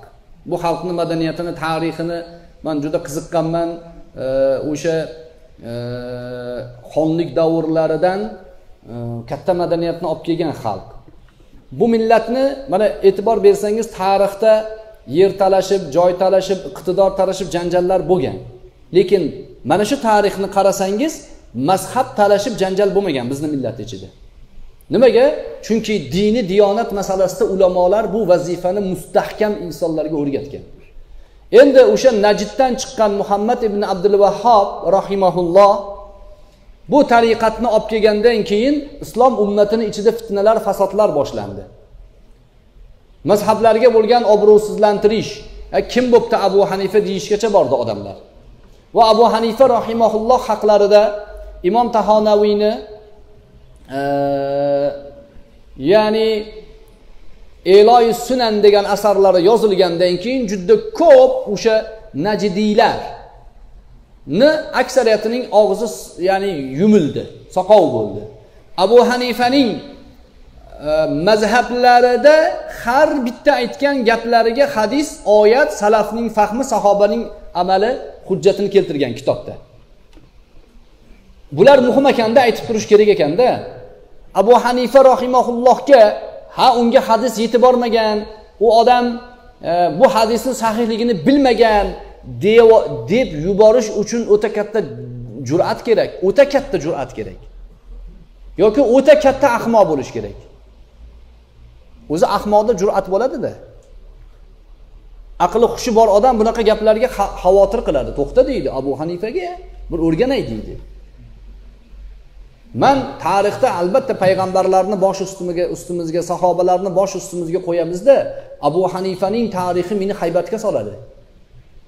Abu hanifa ajam bo'lgan ajam. Arab emas. Mirzabanning o'g'li. Mirzaban otalari otalari hadrati aliga sumalak ko'tarib borgan. Man o'zbekcha qilib gapiryapman. Faluzach degan ovqat ko'tarib borgan otalari. Hadrati ali ko'fada nima bu deganlarida e, hada yavmun nayruz degan. Imom buxoriy tarixli kabirda keltirgan bu asarni. Hada hada yavmun nayruz degan. Bu navro'z kunida kufada ovqat qilamiz shirinlik bu degan. Deganda fasnau kulla yawmin fayruz deganlar hazrati ali. Har kuninglar e, bunaqa navro'z bo'lsa bo'lmaydimi deganlar. Bu sahobalarning bag'ri kengligiga ishora. E'tiqodiy ma'noda nishonlashlikni qo'llab quvvatlamayaptilar lekin urf odat sifatida ovqat olib kelgan odamga ta'lim beryaptilar. Har kunda shunaqa shirin ovqat qilsanglar bo'lmaydimi? Har kuni baxtiyor kun qilsanglar bo'lmaydimi deyaptilar. Otaning sahobalarga bo'lgan hurmatini barakotidan o'g'il abu hanifa bo'lgan. E'tibor beryapsizmi? Mazhab to'g'risida mana yaqinda bitta kitobimiz chiqdi. Inshaalloh taqdimotini qilishga ulgurmay qoldik lekin qilamiz xudo xohlasa. Namozlarimiz to'g'risida hanafiy mazhabining dalillari. Namozimiz dalillari nomi. Ichini ochsangiz o'ttiz yettita matn. Masalan niyat qilamiz namozdan oldin a? Niyat qilamiz. Niyat qilamiz shu namozni o'qishlikni deyishdan boshlanib oxirida assalomu alaykum va rahmatulloh bilan tugaydi. Degungacha matn qilingan. Har bittasining orqasiga hanafiylarning dalillari keltirilgan. Bu bir ma'noda ilmiy bahs uchun shart emas sizga. Lekin namozingizni orqasida hadislar turganligini bilishingiz uchun kerak u. Va xotirjam bo'ling boshqa hamma amallaringizda ham orqasida hadislar oyatlar turganligiga dalil bu. Endi oramizda kirib olib ha shofiylarniki ham to'g'riyu deyapti. Ha to'g'ri. Lekin bu bu mamlakatda bu diyorda shofiiy ustozlar yo'q. Ha internetdan o'rganaman. Yo internetdagi u yoqda turgan odam ichimizdagi masalalarni bilmaydi. Manga qirg'izistondan savol berishadi. Man aytamanki yo'q qirg'iziston domlalaridan so'rang uni o'tdagi hodisani biz bilmaymiz. Mazhab birodarlar musulmonlarni birligiga xizmat qiladi. Hozir yuqorida aytgan fitna payg'ambar alayhissalotu vassalom ogohlantirgan fitna ixtilofda. Ibn hajarni misolini keltirdim. Fathul boriyni ochib o'qing o'rganing. Fitnalar hadisida kelgan shu. Fitna nima desa ixtilof deganlar. Shu ixtilof sunnatda bo'lyapti mustahab amalda bo'lyapti oddiy masalalarda bo'lyaptida lekin tagini surishtirsangiz vojib bo'lgan birlikka putur yetkazyapti. To'g'rimi? Qo'ying qo'ying nima qilasiz? Ixtilof qilib. Samimiy bo'lganingizdan keyin shu dinga amal qilayotganingizdan keyin hanafiylarga amal qilavering bu yerda. Tavsiya bu shofiy bo'lmoqchiman desangiz bemalol. Boring o'rganing mutaxassissiz o'rganing shofiy bo'lib. Lekin hanafiylar ichida hanafiylarning daliliga malomat qilmang. Malomat qilmang abu hanifaga malomat qilmang. Man ikkita joyda san'atni sanab berdim. Hozir yana qaytadan sanashim shart emas jonli efirni ko'rayotganlar ko'rib turibdi.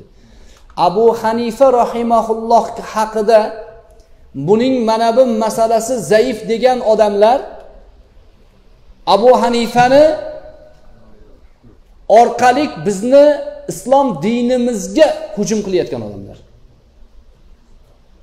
Abu hanifani zaif deb olsa bo'ldi. Bu yog'i sizlar abu hanifa mazhabidasizlar ha hammanglar zaifsizlar. Shubha bu. Shubha tushirish bu. Buni amalga oshirib olgandan keyin o'zi borku sizlarni diniylar ham zaif o'zi. Deyishga o'tadi. Birinchi qur'ondan boshlamaydi. Mana bu sunnat deyapsizlarku hadislar ha. Bu hadislarni ko'pi aqlga to'g'ri kelmaydi bu. Masalan mana bunaqa hadis bor. Shu hadisga ko'ra siz aqlingiz ko'taradi mana tuyaning bavli haqida hadis bor. Buxoriyda sahih hadis ha. Shu hadis aqlingiz ko'taradimi sizni? Abu hanifaga shubha uyg'otib olgandan keyin shubha endi sekin sekin sekin sekin kattalashaveradi bo'ldi endi hadislarga buxoriyga hujum boshlanadi. Buxoriyga o'tib olgandan keyin hadislarga o'tadi keyin qur'onga kiradi.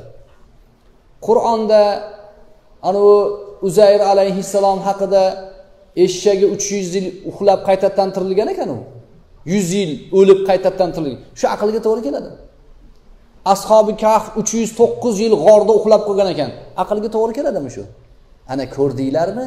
O'zi qur'on boru bitta odam yozib olgan buni. Mana sizga shubha. Nima uchun biz eng boshida qattiq turibmiz? Yoki biz emas umuman ulamolar nimaga boshida qattiq turish tavsiya qiladi? Biz o'sha tavsiyaga amal qilamiz talaba o'laroq. Chunki bitta g'ishtni yiqitsangiz teshik ochiladi. U teshik katta darvozaga keyin butun boshli binoni ag'daradi. Mazhab shuning uchun muhim birodarlar. Qo'rqmasdan gapiryapti. Mazhabga ergashishlik vojib deganga dalil yo'qmish. Nechta dalil keltiray? Ha dalil keltirish uchun tush maydonga tush? Manga ayt? Oldingda turgan odamlarni aksariyatiga qiziq emas bu masala bilmaydi ham. Ularga aytib olib o'zini g'olib ko'rsatyapti. Haligi bir qiziq anekdot bor edi. Jang maydonidan qilichini o'ynatib chiqib kelyapti bittasi. Ha desa man dushmanni oyog'ini chopib tashladim. E keyin qo'lini chopib tashladim. E boshini chopmadingmi desa boshini mandan oldingilar chopib ketgan ekan dermish bosh chopilganda oyoq qo'lini chopish shart emas. Oldida oldiga somondan e, loydan haykal yasab olib unga dalil bormi? Dalil bormi? degan bilan mavzu chiqmaydiki jon jonli odamdan so'ra so'ra telefon qil hech yo'q. Dalil bormi degin manga aytib beray dalilni. Bir soat to'xtamay dalil aytib beraman bir soat. Faqat sanadini o'zini aytib beraman. Mazhabga ergashish vojib birodarlar vojib. Eng bosh oyat fasalu ahla zikri in kuntum la ta'lamun. Mazhabni haq ekanligini bilgan odamga unga ergashish vojib. U mazhabdan bu mazhabdan olaveraman deyishlik masalasi ilmiy masala. Ilmiy tafsilot talab qiladi. Hammaning qo'lidan kelmaydi. Shuning uchun aytdim man bittasiga man hanafiy mazhabdamanu to'g'ri kelib qolsa boshqa mazhablarni ham olaveraman deyish uylanganmanu to'g'ri kelib qolsa zino ham qilib qo'yaveraman deganga o'xshaydi dedim. Bu misol ilmiy misol birodarlar. Bunga imkoniyati yo'q odam u mazhabdan ham bu mazhabdan ham olaveraman desa juda ko'p fasodlar yuzaga chiqadi. Buni talfiq deydi. Band bor alohida bob bor. Babu talfiq. Talfiq ulamolarning xosatan muftiylarning qozilarning ulamolar kengashining ishi. Bir masaladan ikkinchi masalaga o'tish. Masalan haj masalasida ayollar mahramsiz ko'chaga chiqsa bo'ladimi? Hajga. Bu masala muftiyot o'rganib chiqadi ulamolarga soladi buni. Jamiyatni o'rganadi shuni borib kelishligiga imkoniyat sharoit yaratsa aynan shu masalaning o'zida ayollarga fatvo berishga haqqi bor. Chunki ijtimoiy masala. Lekin o'zimdan o'zim man jamiyatni ichida bo'layotgan ishlarni buzib xohlagan ishni qilishga haqqim yo'q. Talfiq bu. Buni ibn obidin vallohu alam keltirgan misol ko'p keltirganman yana o'rni kelganchini aytib ketay tasjil bo'lyapti. Uylanishlikda hanafiylarda valiyning ruxsati shart emas. Bizni hanafiylar qiz bola balog'atga yetsa o'zini o'zi nikohga rozilik e, berish huquqi bor. Nikoh nikoh bo'ladi. Agar ota onasi kufu masalasi. Teng tengmi shu tengmasmi masalasida isbot keltirsa nikohni buzish haqqi bor ota onasiga ya'ni valiylariga. Masala tafsilotlik. Lekin bizga kerak joyi nima? Qiz bola balog'atga yetsa uni valiyning roziligi shart emas. Misollarni keltirgan hanafiylar. Qiz bola qo'lidagi telefonini sotsa savdosi savdo bo'ladimi? Savdo savdo bo'ladi. Xuddi shuni singari o'zini nikohga roziman desa roziligi rozi bo'ladi deydi. Bunga dalillarni keltirgan boshqa mazhab ulamolari keltirgan vali shart vali shart haqidagi hadislarga javobini ham aytgan hanafiylar. U hadis hanafiylarga yetib bormagan emas yetib kelgan. U hadislarning tafsiloti bor deydi. Demak qizni o'zi rozi bo'lsa bo'ldi lekin guvoh shart. Ikkita guvoh bo'lishi kerak nikohda. Shofiiylarda guvoh shart emas vali shart. Vali rozi bo'lsa keyin qizni roziligi rozilikka o'tadi. Uni ham dalillari bor u ham o'zining usulida keltirgan. Endi haligi man hanafiyman boshqa mazhabdan ham qo'ldan kelgancha olib qo'yaveraman degan odamni o'xshatgan tashbihimni misoli mana shu. Hanafiylarda vali shart emas. Ketdi valini o'chirib tashlaydi shofiiylarda guvoh shart emas. Nima bo'ldi? Ko'chadagi bitta qizni go'p stop qilib olib olib ketdi. Ha desa man hanafiy bilan shofiiy mazhabiga ko'ra bu qizni olib qochib ketdim deyapti. Zinomi? Zino bu. Shu zinoni ular chiroyli tushuntiryaptida sizga chiroyli. Eshitgan odam u ilmiy gapiryapti deb o'ylaydi. Bir odam o'rtog'iga telefon qilibdi. Nima qilyapsan? desa suvning moddalarini temir bilan oksidlanishligini tajribada sinab ko'ryapman debdi. Hayron bo'lib uni qanaqa ish? desa xotin uyda yo'q edi idish tovoq yuvyapman demiş birinchi gap ilmiy gapda ajoyib ish qilyapti deb o'ylaydi. Ikkinchi gap u idish tovoq yuvyapti u. Bular shunaqa ko'rsatyapti bular. U man sizga asl idish tovoq yuyayotganligini aytyapman idish tovoq yuyapti bu deyapman u yo'q. Suvning e, temiriga oksidlanishligini sinab ko'ryapman deyapti. Bitta mazhabga ergashaman qolgan mazhabdan ham olib qo'yaveraman. Ha zino ham qilib qo'yaverasan demaksan. Chunki sanga to'g'ri kelib qolsa bo'ldi. Hanafiy mazhabidan chiqaman u gap bilan bu gap bilan shofiydan chiqaman deyapti. E, hech joydan chiqmaysan san hop.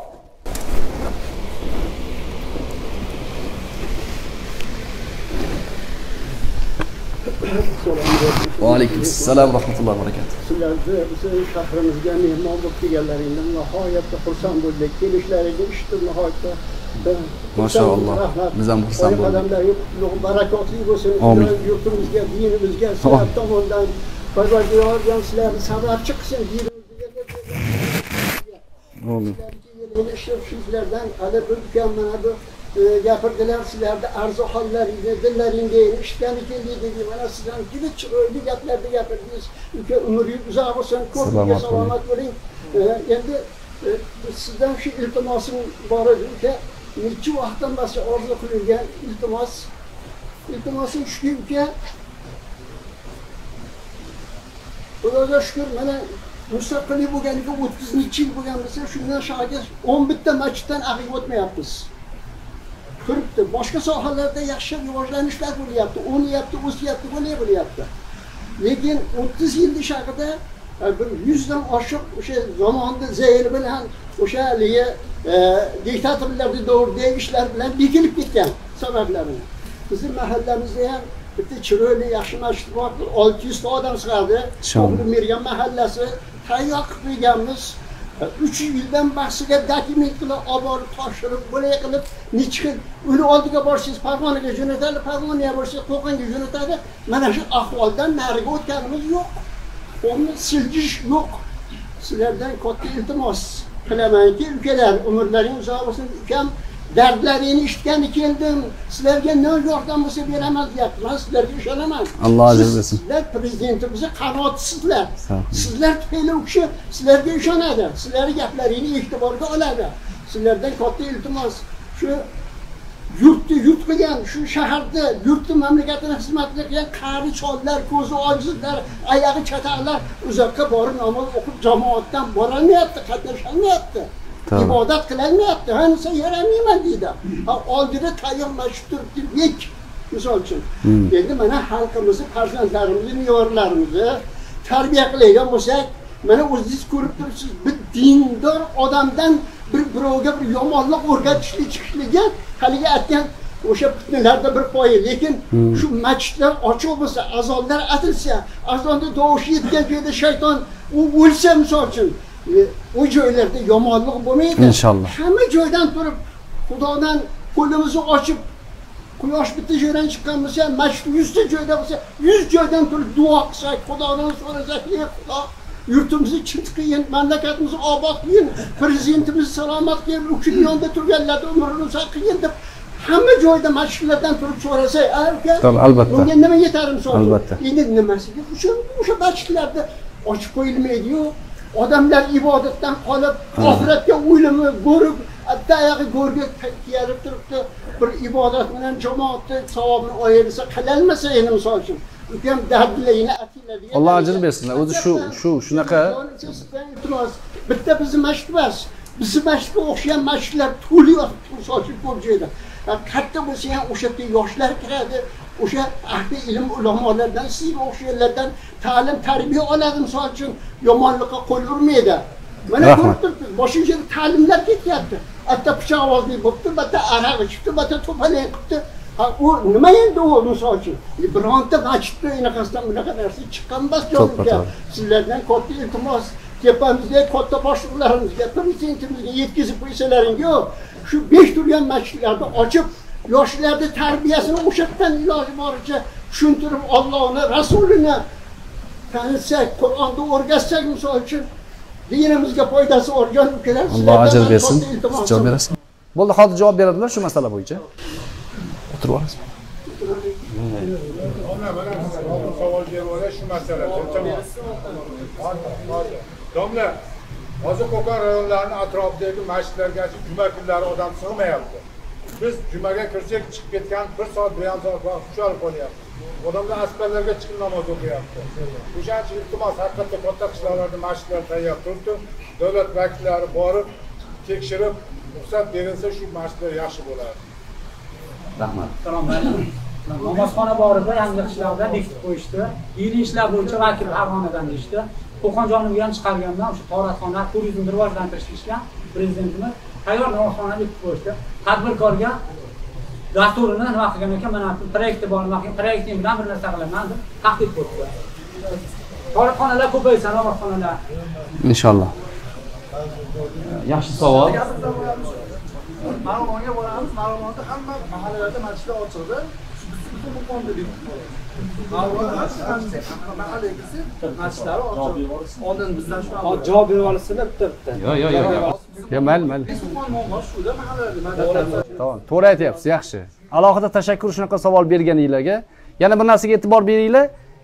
Ochiqlik bo'lyaptida mana ochiqlik bemalol aytilsin va muammoni yechimi uchun nima qila olamiz hozir hammamizni ham qo'limizda emas masalan. Sizlar ham yonayotgan dard bilan biz ham yonyapmiz shuni harakatini qilyapmiz. Qo'limizdan kelsa bizni davrimizda shu biz yashayotgan davrda. Yopiq masjid qolmasa iloyo. Shuni harakati bor inshaalloh. Endi e, rasmiy ma'noda? Biz hozir mana yoshlar yoshlar o'rtasida mana shuni domla ham aytishdi bir birimiz bilan yoshlar o'rtasida mana bunisi hambali bunisi shofiy bunisi hanafiy suhbatlarimizda ozgina kelishmovchilik bo'lyapti keyin domlamiz suhbatlarini eshityapmiz bunga sabab ilm olgani madrasa yo'q mana shu shaharimizda yoki bir o'quv yurti yo'q. Endi madrasa desak dinga qolib o'quv yurti yo'q yo kollej yoki institut yoki texnikum yo'q shu diniy narsani tushuntirgan. Shu narsaga bir yordam qilib bir o'quv markazimi yo bir kollejmi shu nimaga yaxshi bo'lardi ho'p farg'ona viloyatiga bo'lsa qo'qon Rahmat. shahrida bo'lsa bu muammolarni juda yaxshi bilamiz. Shulardan ham ko'proq aytganlaridek chuqurroq masalaga kirishganmiz. Masjidlar ochish masalasi bo'yicha biz ishxonaga kuniga kamida sakkizta o'nta bo'lmasa ko'proq murojaatchilar kelishadi. Afsuski kelayotgan hujjatlarni to'qson to'qqizu o'nda to'qqiz foizida kamchilik bilan kelishadi. Biz din ishlari bo'yicha qo'mita to'g'ridan to'g'ri hujjatni qabul qilib olish vakolatiga ega emassiz hujjat oldin hududda shu yerda o'rganib hammasi o'zbekiston musulmonlar idorasiga chiqariladi toshkentga. Ular keyin hamma hujjatni ko'rib masalalar hal bo'lgandan keyin din ishlari bo'yicha qo'mitaga bitta ruxsat e, tavsiya xati olish uchun chiqaradi xolos. Diniy tashkilotga ruxsatni adliya vazirligi beradi. Din ishlari bo'yicha qo'mita emas.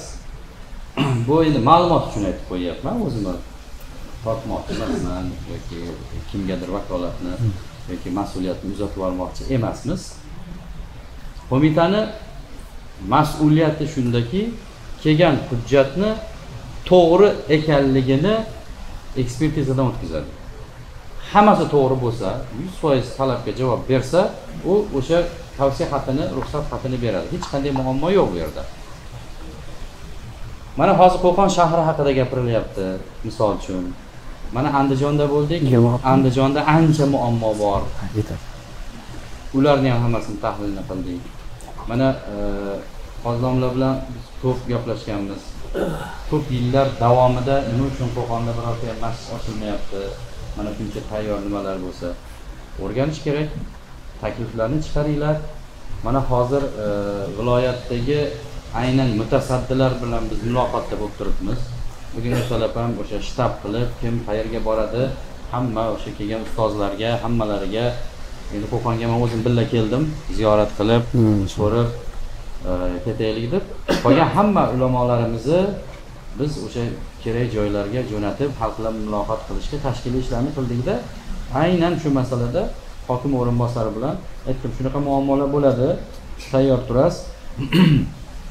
Ishchi guruhlaringizni chiqarasiz joylarga.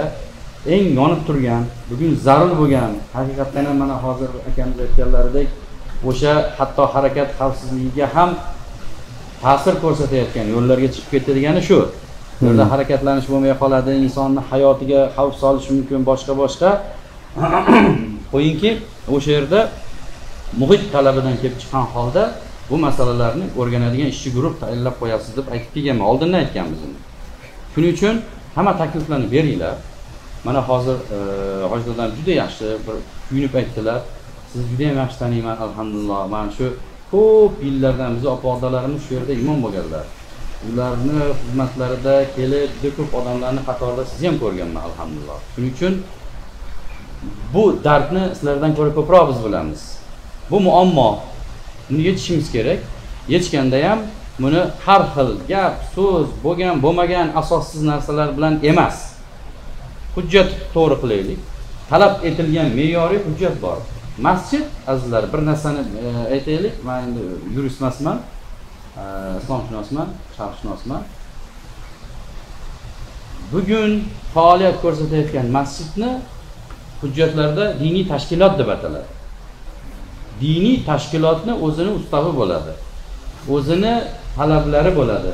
O'zini hokazo hokazo hokazo ishlari bo'ladi. Hammasini talabini joyiga qo'yilsa hech qanday muammolik bo'lmaydi. Juda ko'p hujjatlar keladi. Yo hokimiyatdan ruxsat olmagan yoki talabga javob bermaydi.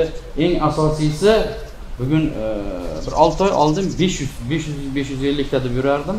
Hozirgi tahlillar kelish e, bo'yicha yetti yuzdan oshibdi. Yetti yuzdan ortiq masjidlar bugun o'zini o'zi ta'minlanmaydi mana shunday shuncha xat keladi. Falon million qarzi bor.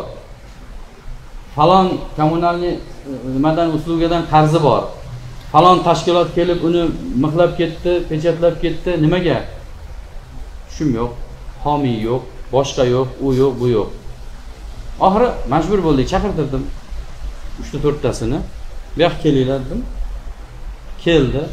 O'zi sizlar shu masjid ochilishida ta'sis hay'ati tuzganmisizlar ha tuzganmiz. Qani o'sha? Ha mana yuz kishi. Yuztadan kam bo'lmagan holda edi. Hozir elliktaga tushdi. Yuztadan kam bo'lmagan holda odam imzo qo'yib bergan. Shu ochilsin biz hamma yoqni ko'taramiz boshqa qilamiz va hokazo. Bittasi ham qolmagan.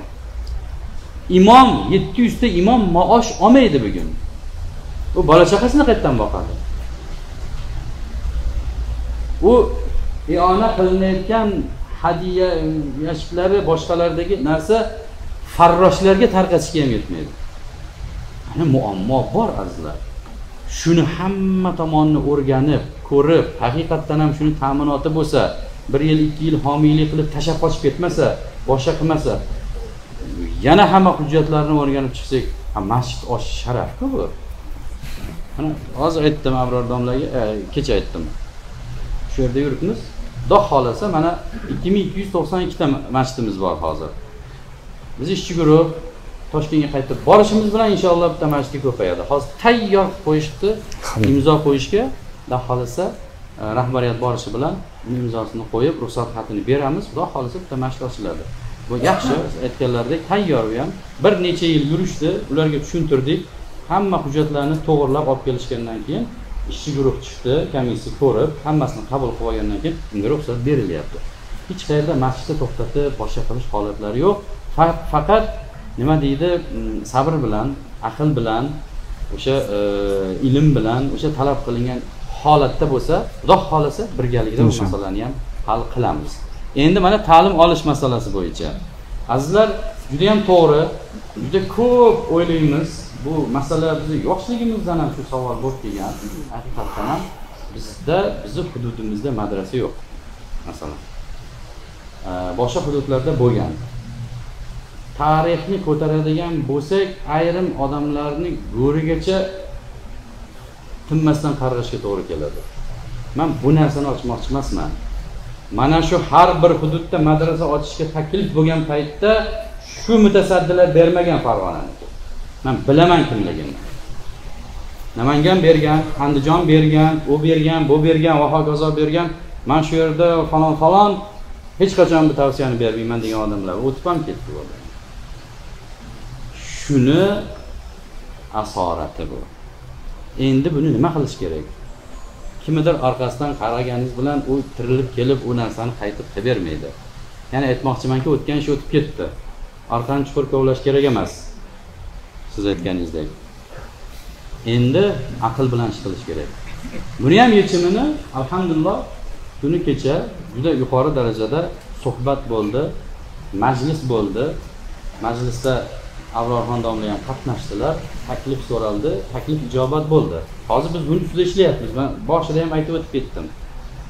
Aynan mana shu talablarni qondirish uchun yangi innovatsion taqdim etish kerak loyihalarni. Nima qilasizlar bugun xalqimiz kechagi xalq emas. Ongi tafakkuri bilimi saviyasi judayam yuqori. Deyilgandan keyin hozir e, o'sha islom akademiyasini bekorga aytmadim platformasida onlayn tarzda ishlaydigan raqamli sifrovoy universitet ochamiz. Hozir hamma narsani tayyor qilib qo'ydik. Bu bilim an'anaviy darsdan kam emas. Talabimiz undan kam bo'lmaydi. Unga ham hujjat topshirib kiriladi qabul bo'ladi. Bitiruv bo'ladi. Xudo xohlasa hali e, oxiriga yetmadi. Loyihalarimiz biz xizmat safariga chiqib ketib qoldik. Nizomni tayyorlasak o'sha taqdim oxirida unga yo sertifikat yo diplom yo malakaviy nimadir beramizki bu foydali bo'lsin. Bilimni avvalo qur'oni karimdan boshlanadi. Bekorga aytmadilar. Bu bizni yurtimiz ayniqsa vodiy ayniqsa mana bu andijon haqida gapirdik. O'tirgan mana qorilarimiz ham anvarxon ham mana andijonda o'qiganlar borib ziyorat qilib keldik. Devonaboy xudo xohlasa bir ikki kun ichida ochiladi inshaalloh. Shunaqa ajoyib chiroyli bo'libdi. U o'zi qorilar zavodi edi u juda bir ajoyib joy. Shunaqa fayzli bo'libdi. Qo'qonimiz undan kam emas. Biz bilamiz qayerlarda qanaqangi qorilar tayyorlangan qanaqangi ahli ilmlar yetishib chiqqan alhamdulillah. Shuning uchun bu rag'batga biz boshlang'ichida shunday taqdim qilyapmizki uyda o'tirib xonadonda o'tirib ayol qizlarimiz ham qabul qilinadi. Hozir madrasalarimizga ayollar kirolmaydi lekin ayol qizlarimiz ham uyda o'tirgan holda to'g'ridan to'g'ri o'sha hamma aytdi texnik vositalarga ancha kuchimiz ketadi lekin qilamiz shu narsani. Qilishimiz kerak. Hozir bir yuz qirqdan ortiq oliy ta'lim muassasalari bor respublikamizda. Lekin shularni platformasi hali yo'q bu narsa. Islom akademiyasi ochamiz chunki ehtiyoj bor. Masofadan turib injenerga ehtiyojimiz yo'qdir lekin masofadan turib biz bugun dinni bilishimizga ehtiyojimiz bor qur'onni bilishga ehtiyojimiz bor. Agar biz bermasak hozir abror domla aytganlaridek tashqaridan boshqalar beryapti noto'g'ri narsani beryapti ertaga biz farzandlarimizni ongini to'g'irlolmasdan umrimiz o'tib ketadi. Shuning uchun hozir to'g'ri taklif beramiz. Hozir dasturlarni ham ko'rib chiqamiz. Qur'oni karimdan boshlaymiz. Aqidaviy masalalarda beriladi. Fiqda ixtilof bor. Asosiy ikkita yo'nalishimiz bor. Mana shu demak aqida va fiqh masalalari va albatta qiroat masalasi. Qiroatimiz to'g'ri bo'lmasa namozimizda nuqs bor. Buni hammamiz yaxshi bilamiz. Bu masalalarni hammasini o'ylayapmiz azizlar sizlardan nimaga taklif olyapmiz? Mana shu o'ylagan narsalarimiz hamohangmi to'g'rimi va takomillashtirish uchun nima qilishimiz kerak? Mana shu bevosita muloqotda agar sizlardan biz olsak qilgan ishimiz yana ham samarali bo'ladi. Butun kuchimizni arzimagan narsaga emas to'laqonli samarali narsaga sarflaymiz. Bu bizdan avlodlarga qoladi. Tasavvur qiling hozir madrasaga yigirmata o'ttizta odamga kvota beriladi. Buni kvotasini chegaralamoqchi emas biz o'n mingta bo'lsin yuz ming odam bo'lsin. Hozir shunday talab bo'lyapti. Pulni topib beraman deyaptilar.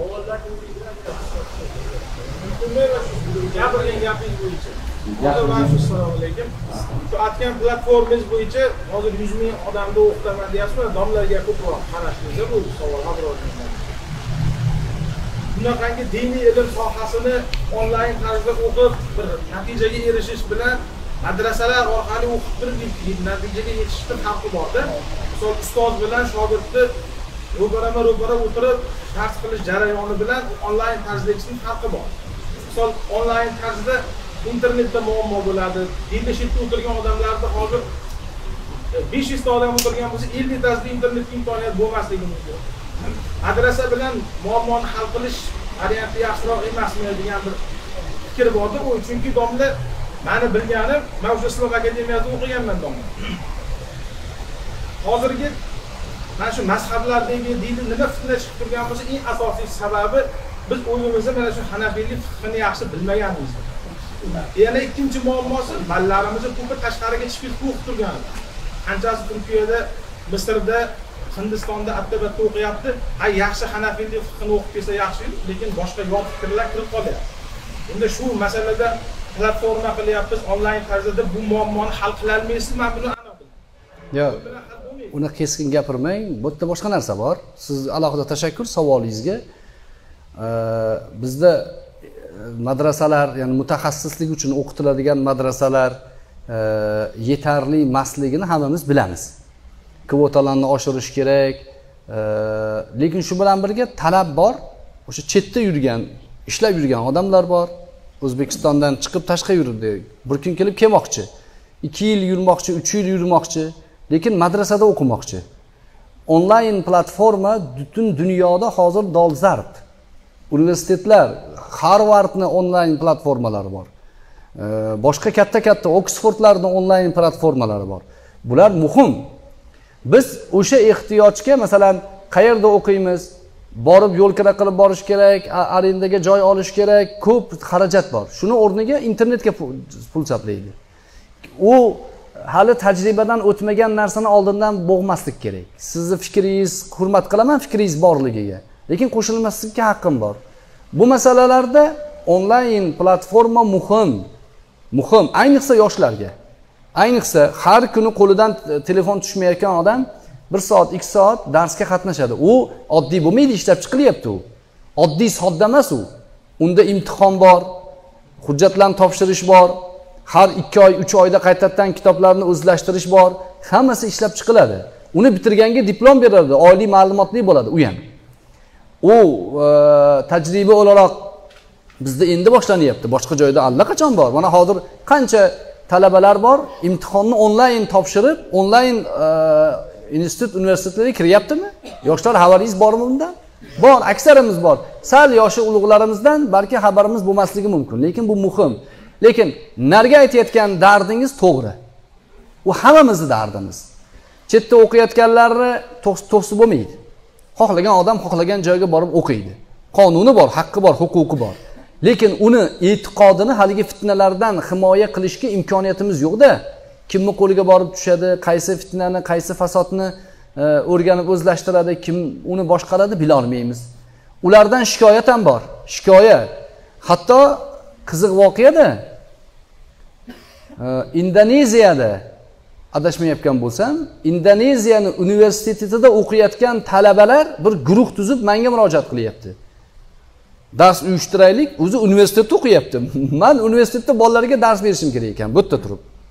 Ular buni hammasini qondiramiz qanoat qilamiz deyapti. Bu muhim ehtiyoj bor ya'ni. Siz aytayotgan masalani balki kvotani kengaytirish kerakdir. Yana reja ham bor. Man ko'pini sotib qo'yyapman. Hammasini aytib yubormang inshaalloh e, amalga oshsa xursand bo'lamiz. Yaxshiliklar bor. Yana bitta narsani aytay biz musulmonmizu hammamiz birodarlarmizu mana otaxonni aytayotgan gaplari bizni ichimizdagi gaplar. Hammamiz shu darddagi odamlarmiz. Shuni yaxshi bilinglarki harakatga ajr olamiz. Hammamiz. Bu hozir muzaffar aka ochiq aytyaptilar aylantirmoqchi emasman masalani boshqaga ilova qilib qochib ketmoqchi emasman deyaptilar. Samimiy shu gap. Qo'ldan kelgan hozir agar seni bir og'iz gapingga shu shu gapni gapirsa gapiramiz ochilib ketadi. Agar bizga bog'liq bo'lsa. Bizga bog'liq joyi nima? Harakat. U ochilish masalasida qancha chig'iriqlar bor sabablar bor. Biz o'zbekistonda hozir globallashuv madaniyati boru tashqaridan hamma kirib kelyapti. Hozir iegova shohidlari qo'lida dokument orqasida vagon vagon pul bilan turibdi. Baptistlar vagon vagon pul bilan qo'lida hujjat bilan turibdi. Hozir yuztayni elliktaga tushirdiyu bizni foydamiz emas u shuni bilasizmi? Ularni foydasi ularga oson bo'lib qoldi bunaqa narsani ochish.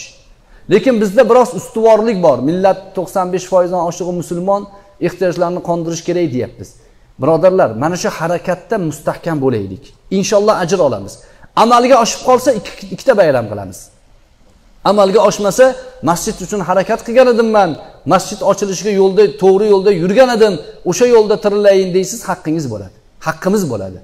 Bu yerda man ham muzaffar aka ham to'siq qilish tarafdori emas. O'zi hech kim tarafdori emas.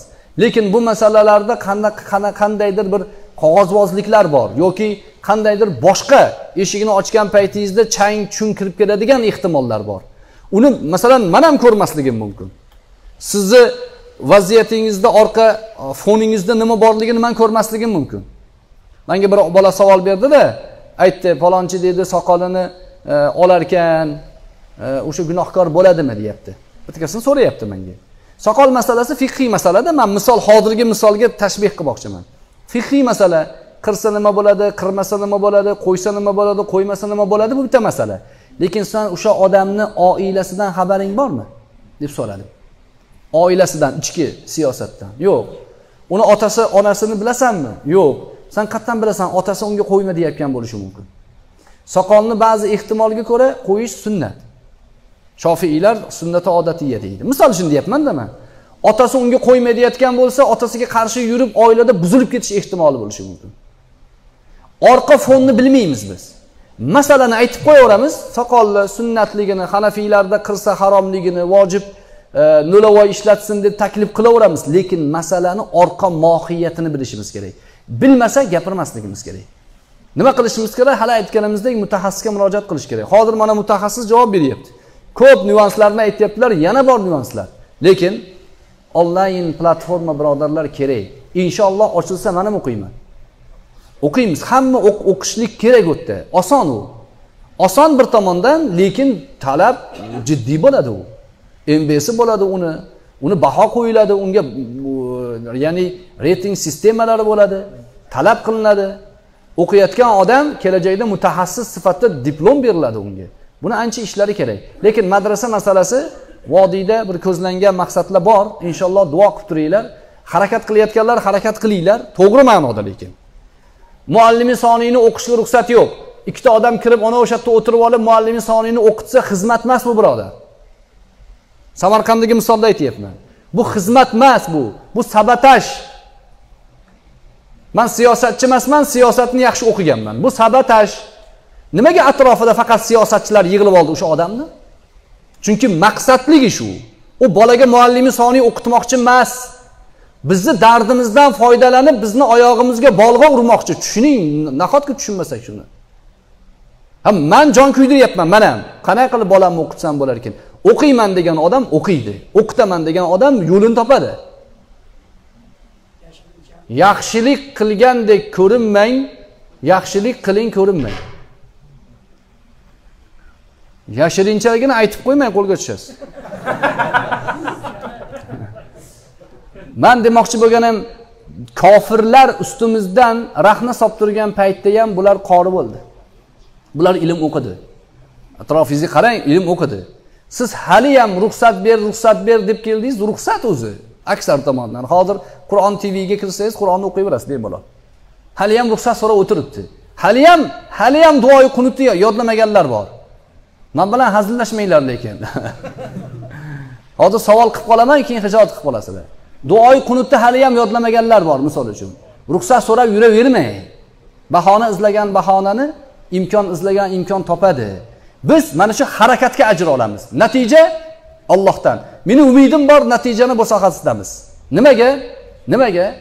Man mubolag'a qilib gapirmayapman. Shu qo'qonni farzandi. Muzaffar akani biz taniymiz eskidan bilamiz. Qanaqa dard bilan qanaqa tashvish bilan yurganini bilamiz.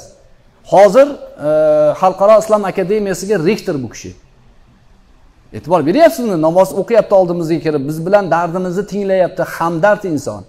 Yordamlashaylik yordamlashaylik. Bir savol berib tupikit qilib qo'yaman emas biz bitta odammiz.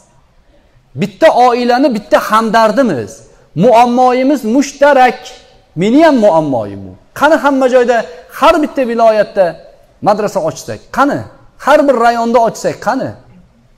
Yetti yuzta masjidni g'amini qilyaptilar. Yetti yuzta masjid ochilgan. Imomlardan kelib so'rang masjidni yuritish oson emas. Yetti yuzta masjidda imomga oylik topib bermayapti. O'zini o'zini elektrini yoki boshqa narsasini qoplolmayapti ha ularni ham inshaalloh targ'ib da'vat tashviqot bilan qilish kerak ko'paytirish kerak. Boshqa joylarda mana man qilaman deyapti mana bular ham hammasi hozir ko'zi yongan kelajakka umid qilgan odamlar. Bu millat inshaalloh bu narsalarni e, bosib o'tamiz. Lekin insof bilan aytinglar. Insof bilan aytinglar. Oldinga yuryapmizmi orqagami? Oldinga yuryapmiz bir qadam ikki qadam bo'lsa ham. Yuryapmiz oldinga. Birodarlar buni shukrini qilib shu masalada yordamlashamiz. Inshaalloh bu kunlarni yana e, yaxshilarini ko'rish hammamizga nasib qilsin. Birodarlar bitta siz savol berasizda keyin tugatamiz ha. savol ko'p deyatgandingiz ho'p agar besh minut vaqt ajratsangiz olloh ilhom qildida juda muhim narsa deb bilaman men aytolmayman o'zingizga aytaman shaxsan. Birinchi savolim e, sodiq samarqandlik ustoz juda muhabbat qo'ygan birodarlarimiz borda. Shulardan bittasini gapini aytib beraman. Sodiq samarqandlikka o'sha ixlos qo'ygan birodarlarim juda ko'pi rojihlaridan olaman ya'ni terib olaman. Bitta mazhabda yurmayman deydi. Hop o'shani eng muhim gapi. Nimaga eshitasiz bu insonni? Olloh adashgan adashyapti desa nimada adashyapti? Olloh qayerdaligiga qayerdaligini muhokama qilyapti shu adashishga yetarli kifoya emasmi? Ergashaverasizmi shunday ham desa ergashaveradi qarab turing dedim shular kechuv ketishda qur'onni mahluq deyishgacha boradi. Shunda ham ergashasizmi desam nega maxluq der ekan? dedi ergashasizmi? Agar sizdan javob olay desam ergashmayman dedida deb turib javob savolni qarang man o'ylanib qoldim. Qur'onni qur'on haqida nima deysiz? Varag'i haqida deyapti qog'ozi haqida deyapti. Man bu haqda o'ylab ham ko'rmayman. Buni so'zini kalom ollohni kalomi deymiz ya'niki varag'ini mahluq demoqchi o'zi fitnalanib bo'lgan. Shu yerda o'ylanib qoldim shu narsa haqida sizga e, o'zi mana biz shaldiroq masjidimizga ikkita yaxshi imom kelishgan muhammad odil kelgan shu insonga ro'para kelib ikkinchi savol rosa muhim? Aytolmay yuribman sizlarga besh minut vaqt ajratsa aytib beraman. Shu birinchisi mana shu. Qur'onni varaqi haqida nima deysiz deb o'zi shunga kirishyapti bular kirishib qo'yyapti bu narsa xabaringiz bormi shu haqida jamoatga biroz biroz ilmiyroq e, mubohasaga e, munozaraga tegishli mavzu ekan. Qur'onni maxluq deyish qur'on maxluq deganda nima tushuniladi? Qur'on maxluq emas deganda nima tushuniladi? O'zi qur'on deganda nima nazarda tutiladi? Bu katta bahs endi. Endi siz aytayotgan shaxs e, turkiyada milliy istixborot tashkilotining ruxsati bilan ariza yozib o'sha joyda ularni pasportini olib xizmat qilayotgan odam xizmatdagi odam. Turkiyaning milliy istixborot tashkiloti. Snbsi u odamga o'shalar ruxsat bermasa turkiyadan bir kunda deport qiladi. Bir kunda. Bir kunda deport qiladi. Yo deport qilsak ani o'rtadagi ko'p kelishmovchiliklarimiz tashqariga chiqib ketib qoladi. Deb qaror qilsa unda suiqasd uyushtirib yo'q qilib yuboradi. Abdulloh buxoriyni shunaqa qilib yo'q qilib yuborishdi abdulloh buxoriyni kimnidir nomidan o'ldirtirishdida lekin mitni xabari bor edi. Chaqirib abdulloh buxoriyga aytgandi sanga suiqasd qilinadi degan edi. Nimaga oldiga ikkita odam qo'yib qo'ymadi? Chunki kerak emas edi. Uni o'sha suriyada iroqda bo'layotgan jang jadallarga o'zbek zabon musulmon yoshlarimizni chaqirib turkiya orqali ketkazayotgan da'vatchi edi u. Abdulloh buxoriy shunaqa bola edi. Abdulloh buxoriy uni ismi emas mirzo g'olib o'zi. Alloh rahmat qilsin ketdi. Ulamolarga til tekkizgan kuni bir hafta o'tmasdan ketdi. Ramazon butiyni dajjol shayx muhammad sodiq muhammad yusufni kazzob munofiq degan edi. Lekin biz hurmat qilib gapiryapmiz uni. U gapini emas musulmonligini. Uni o'rniga siz aytayotgan shaxs kelib o'tirgan. Shaxs. Uni yoniga hozir ani yusuf davron kelib o'tirib olgan. Bularni mafiyani masalasi bo'ladimi oldi berdi masalasi bo'ladimi ikkita odam tijoratda masala bo'ladimi shunga yo'naltirishadi. Bu yoqdagi ixtilofdan ko'zlagan maqsad ham shu. Nimaga? O'zbekistondagi musulmonlarni imomlarni obro'sizlantirsa o'zi nima paydo bo'ladi? O'ziga nisbatan ishonch paydo bo'ladi. Qolganlarni ko'zini o'ngida go'yo haqiqatni gapiryapti. Qayerda haqiqatni gapiryapti. Biz hozir haqiqatni qayerni bekitdik? Hozir xohlagan savolingizni beryapsiz. Hech kim tayinlab qo'yilgan odam emas. Savolga yarasha javob beryapmiz to'g'rimi? Aylantirganimiz yo'q. To'g'risini vaziyatni aytyapmiz. Iloji yo'qmi? Iloji yo'q birodarlar. Duo qilib turinglar harakat qilamiz deyapmiz. Iloji bormi qilamiz birodarlar deyapmiz. Gapiryapmiz biz. Qanaqa siyosiy bosim bo'lishidan qat'iy nazar bizga kuchi yetmaydi aytib qo'yayman. Nimaga? Biz haqni aytishlikka qasam ichganmiz. O'shanga ular xavotir qilyapti. Endi siz o'sha muxlislariga ayting. Turkiyadagi bo'layotgan ishlarni gapirsin. Gapirsin. Turkiyada o'tiribdiyu. Haqiqatni gapirishmi? Gapirsin. Aytsin. Barot al bayroq degan rajab toyib erdo'g'onning kuyovi bir yuz yigirma sakkiz milliard dollar masalasida problema chiqib qoldi. Gapirsin. Turkiyadan gapirsinchi ovozi chiqar chiqmasdan o'zini chiqarib yuborishadi haqiqatni gapirsin. Bir tomonga varata qo'yib qo'yib to'p tepaverish oson. Biz ham bir tepaylik. O'sha qalbiga fitna tushgan odamlarni masalasi. O'shalarni quloq solayotganlar. O'shalarga quloq solayotganlar. Man ko'pchilikka savol berdim mantiqan savol berdimda.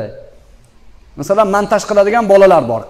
Bir ikkitasi ma'lum. Kimni qulog'i nimaga unaqa xizmat qilib yuribdi bilaman uni. Qayerga borib qanaqa yig'lab keladi man qo'limda informatsiyam bor. O'sha odam sizga hozir kelib menga besh ming dollar qarz berib turing desa berasizmi ishonib? Bermaysiz o'zi g'alatiroq odam deysiz.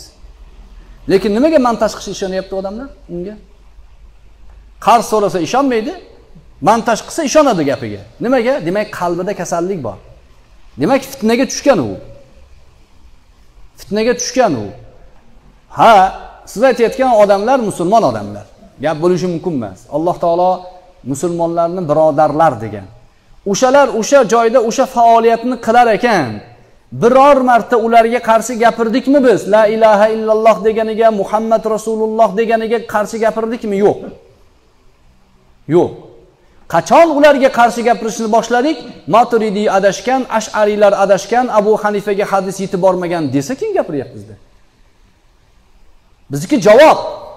Biz ya'ni ibtidoiy gap bosh, gap boshlamayapmiz. Biz javob beryapmiz majbur bo'lib. Avval indamadik keyin ho'y dedik.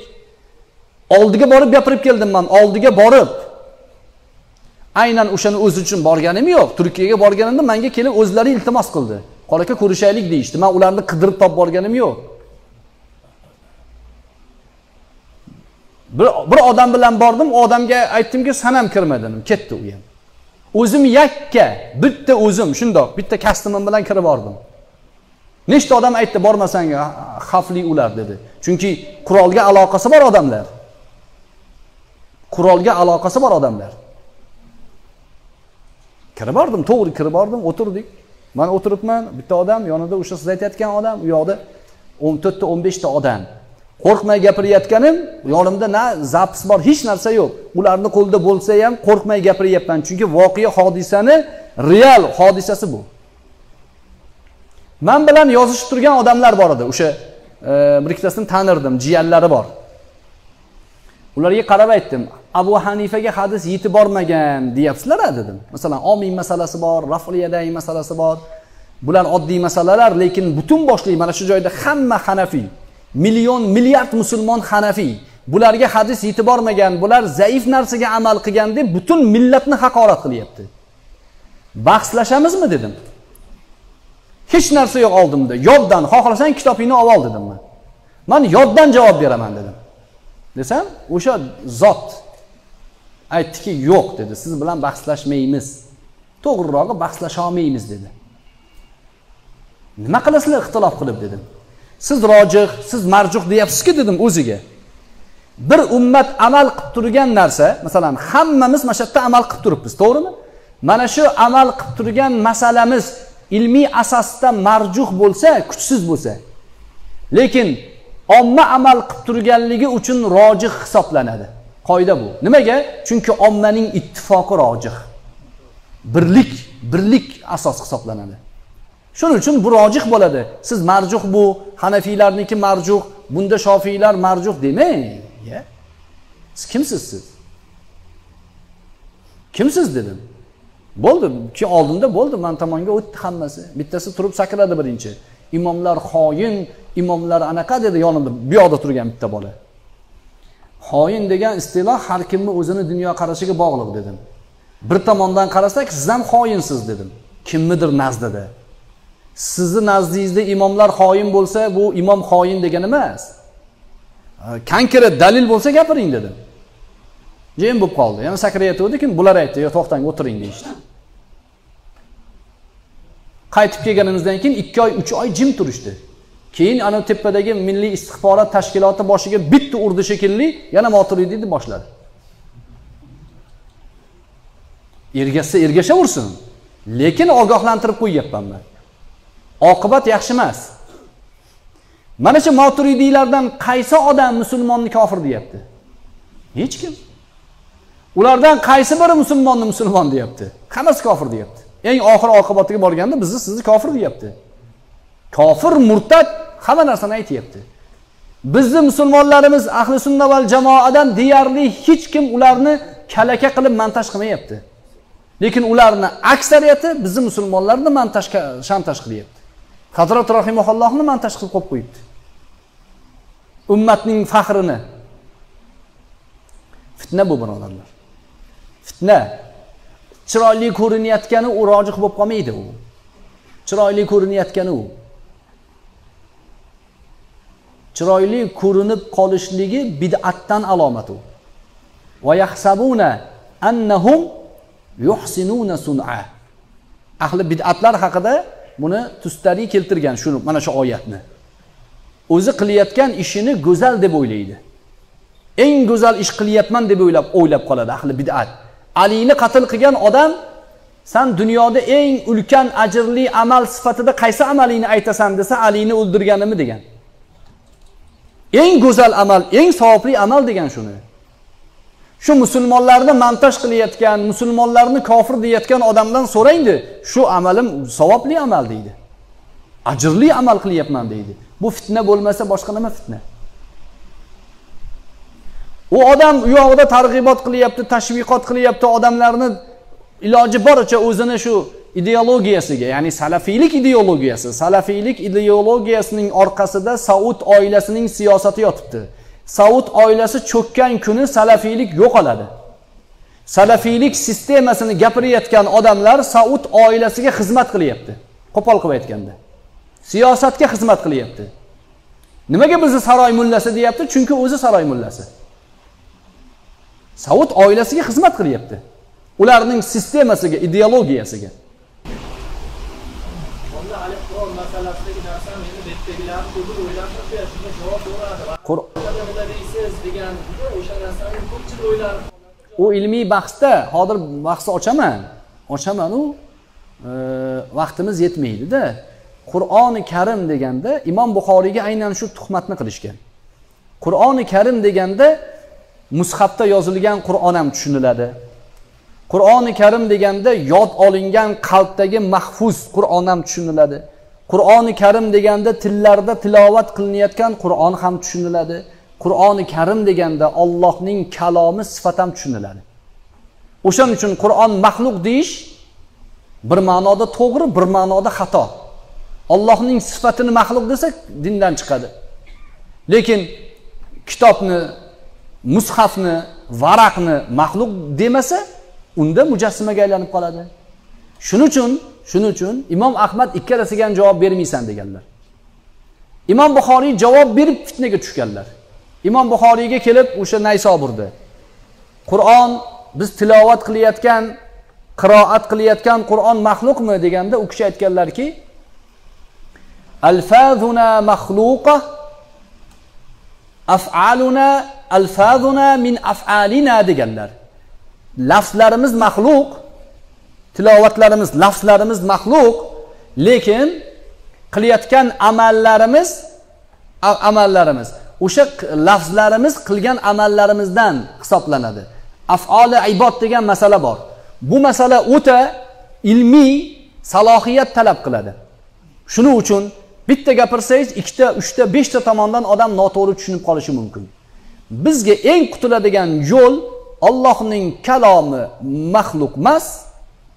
Biz tilovat qilayotgan tilovat ya'ni lafz qalbimizda yodlangan e, ya'ni yodlanyapti keyin yodlanayotgan narsa e, tajvid bilan chiqaryapmiz harflar yozyapmiz mushaf qog'ozlar maxluq. Bular maxluq. Shu. Qur'on g'oyri maxluq deganda ollohning sifati g'oyri maxluq. Buni imom maturidiy kalomi nafs degan nafsiy kalom degan.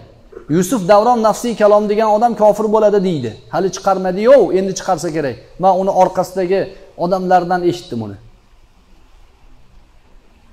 Kalomi nafsiy imom moturidiyni yechimi. Kalomi nafsiy nima desa har bitta gap gapirishlikka muhtoj emas. Qur'oni karimda yusuf alayhissalotu vassalomning qissalarida qola deb kelgan. Qola antum sharrum makanan degan. Antum sharrum makanan degan qola bilan kelgan shu. Ya'ni akalari yusufni yoshligida o'g'irlik qilgan edi buni akasi ham bu ham o'g'ri ekan deganda ichida aytgan. Yusuf alayhissalom ichida aytganki sizlar juda yomon odamsizlarda degan akalariga. Shuni tafsirini ko'ring tafsirida fi nafsihi kelgan ichida aytgan. Lekin aytdi deyapti o'sha nafsiy kalom bor nafsiy kalom sifati bizda aytmasak ham gapiruvchimiz biz. To'g'rimi? Bizga gapirish sifatini beradi. Baribir tafsilotga kirmay dedim kirib ketyapman. Masala o'ta chuqur masala. Yuz yil islomning ummatini boshini og'ritgan masala. Hozir boshlasak hammaga tushuntirish uchun yuz yil yashashim kerak. Qiyin. Lekin birodarlar bu masalada tortishmang. Hali aytdim man. Kim shu masalalarga ketadigan bo'lsa kelsin. Mutaxassisga murojaat qilsin siz tortishmang. Siz tijoratingizni qiling. Hunarmandchiligingizni qiling. Siz o'z ahliga yuklatilgan vazifani qiling. Shunda yutamiz biz. Har kim o'zining vazifasini qiladigan saviyaga yetganimizda yutamiz. Lekin boshqaning masalasini tortishsak tortishib o'tiraveramiz. Janjal bo'ladi to'polon bo'ladi va oxiri yechim bo'lmaydi baribir. Hozir ozgina qisqa muddatda gapiryapman. E, tafsilotlarga kirishsak katta lekin masala ilmiy masala. Umuman bizni qutqaradigan narsa Allohning kalomi maxluq emas. Lekin dalolatlar maxluq. Allohning kalomiga dalolat qiluvchi narsalarning barchasi maxluq. Lafzlar qog'ozlar mushaflar bular maxluq. Birodarlar shu bilan so'nggi savolni tugatamiz. Ho'p hammamiz endi eshitganmiz. Anaqa qiyomat alomatlarini kichik qiyomatni kichik alomatlari haqida hozir suhbatingizni boshida shundan birini aytib o'tdingiz hop qiyomatga yaqin odam musulmon bo'lib uxlab kofir holda uyg'onadi mana shuni hozirgi kundagi kayfiyati va uni ko'rinishlar haqida biroz tushuncha ho'p bu haqida avval ham tushuntirish berganmiz. Iymon kufr masalasi e, odamlarda fitna ko'payib ketganligi uchun e, tamakkun bo'lmay qoladi. Odamlar haqiqiy ilmiy saviyadan uzoqlashib qoladi shunga aytayotgan gapiga e'tibor bermay qo'yadi e, e'tiqodini himoyasiga e'tibor bermay qo'yadi. Oddiy deb gapiradi kofir bo'lib qoladi. Masalan hali aytdim man ulamolarni eshak desa kofir bo'ladi. Uni shaxsini aytmayaptida undagi ilmni shunaqa qilib obro'sizlantirmoqchi dinni shioriga hujum qilyapti. Shu gapni gapirgan odam kofir bo'ladi. Fiqiy masala bu. Kalima kufr.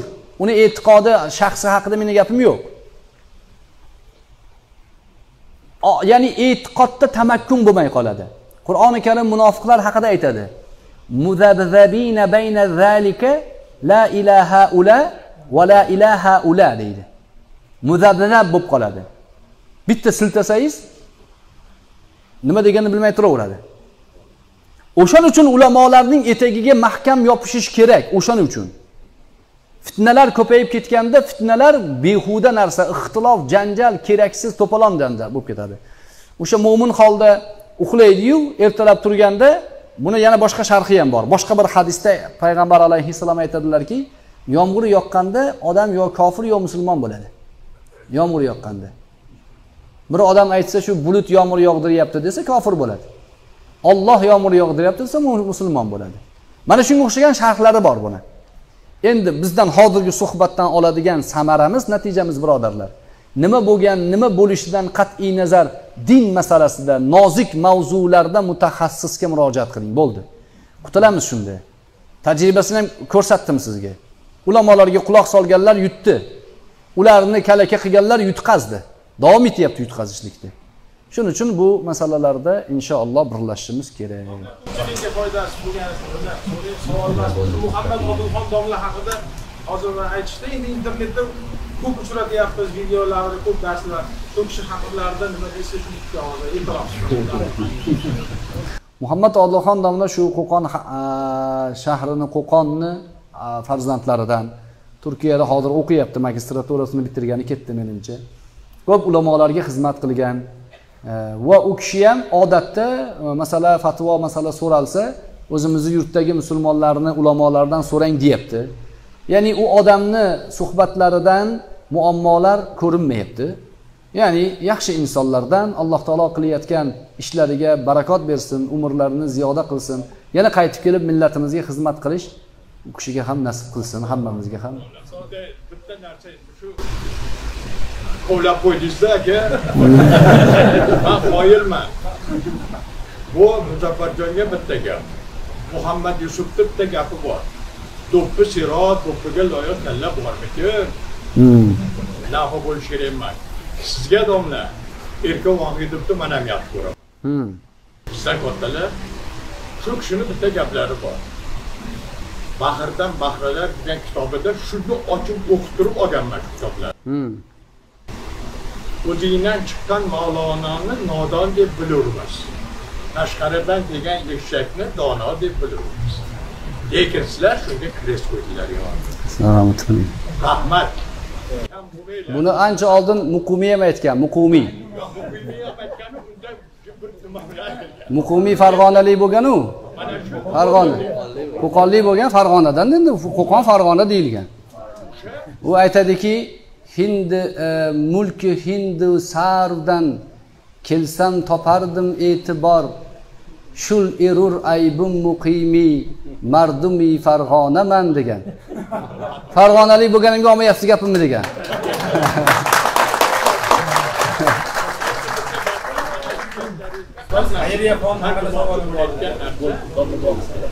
Hozir hozir hozir. Alloh ajr bersin e, odob bilan go'zalligini tasdiqlab berdi. Salomat bo'ling. Salomat bo'ling. Erkin vohiddan yana bitta o'qib beray. Man ham she'rni yaxshi ko'ramanda. Qancha mag'rur bo'lganida ham piyolaga egilar choynak. Shunday ekan manmanlik nechun kibri havo nimaga kerak? Kamtarim bo'l hatto bir qadam. O'tma g'urur ostonasidan. Shuning uchun piyolani el o'par doim peshonasidan.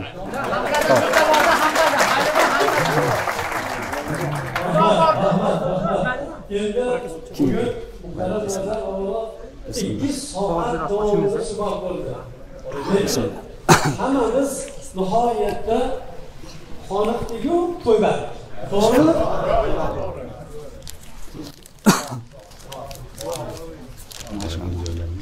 alloh bicharaga quvvat bergin. Bu domlarimizga g'ayrat shijoat bergin. Bizlarga qalbi salim bilan nasib etgin. Xalqimizga to'g'ri yo'l ko'rsatganlarga hammamiz parvarga shu kunda olgan ma'lumotlarimizni eslab amal qiladiganlardan qilgin va parvargar jallolim bunday suhbatlarimizni sizlar domlaga iltimos qilamiz yana ko'p ko'p bo'lishni bulardan Amin. allohdan iltijolar qilib qolamiz. Allohimma salli va sallim alloh. Yo'q yo'q hozir hamma tushadida. Biz sal bizga yordam bo'lardi inshaalloh.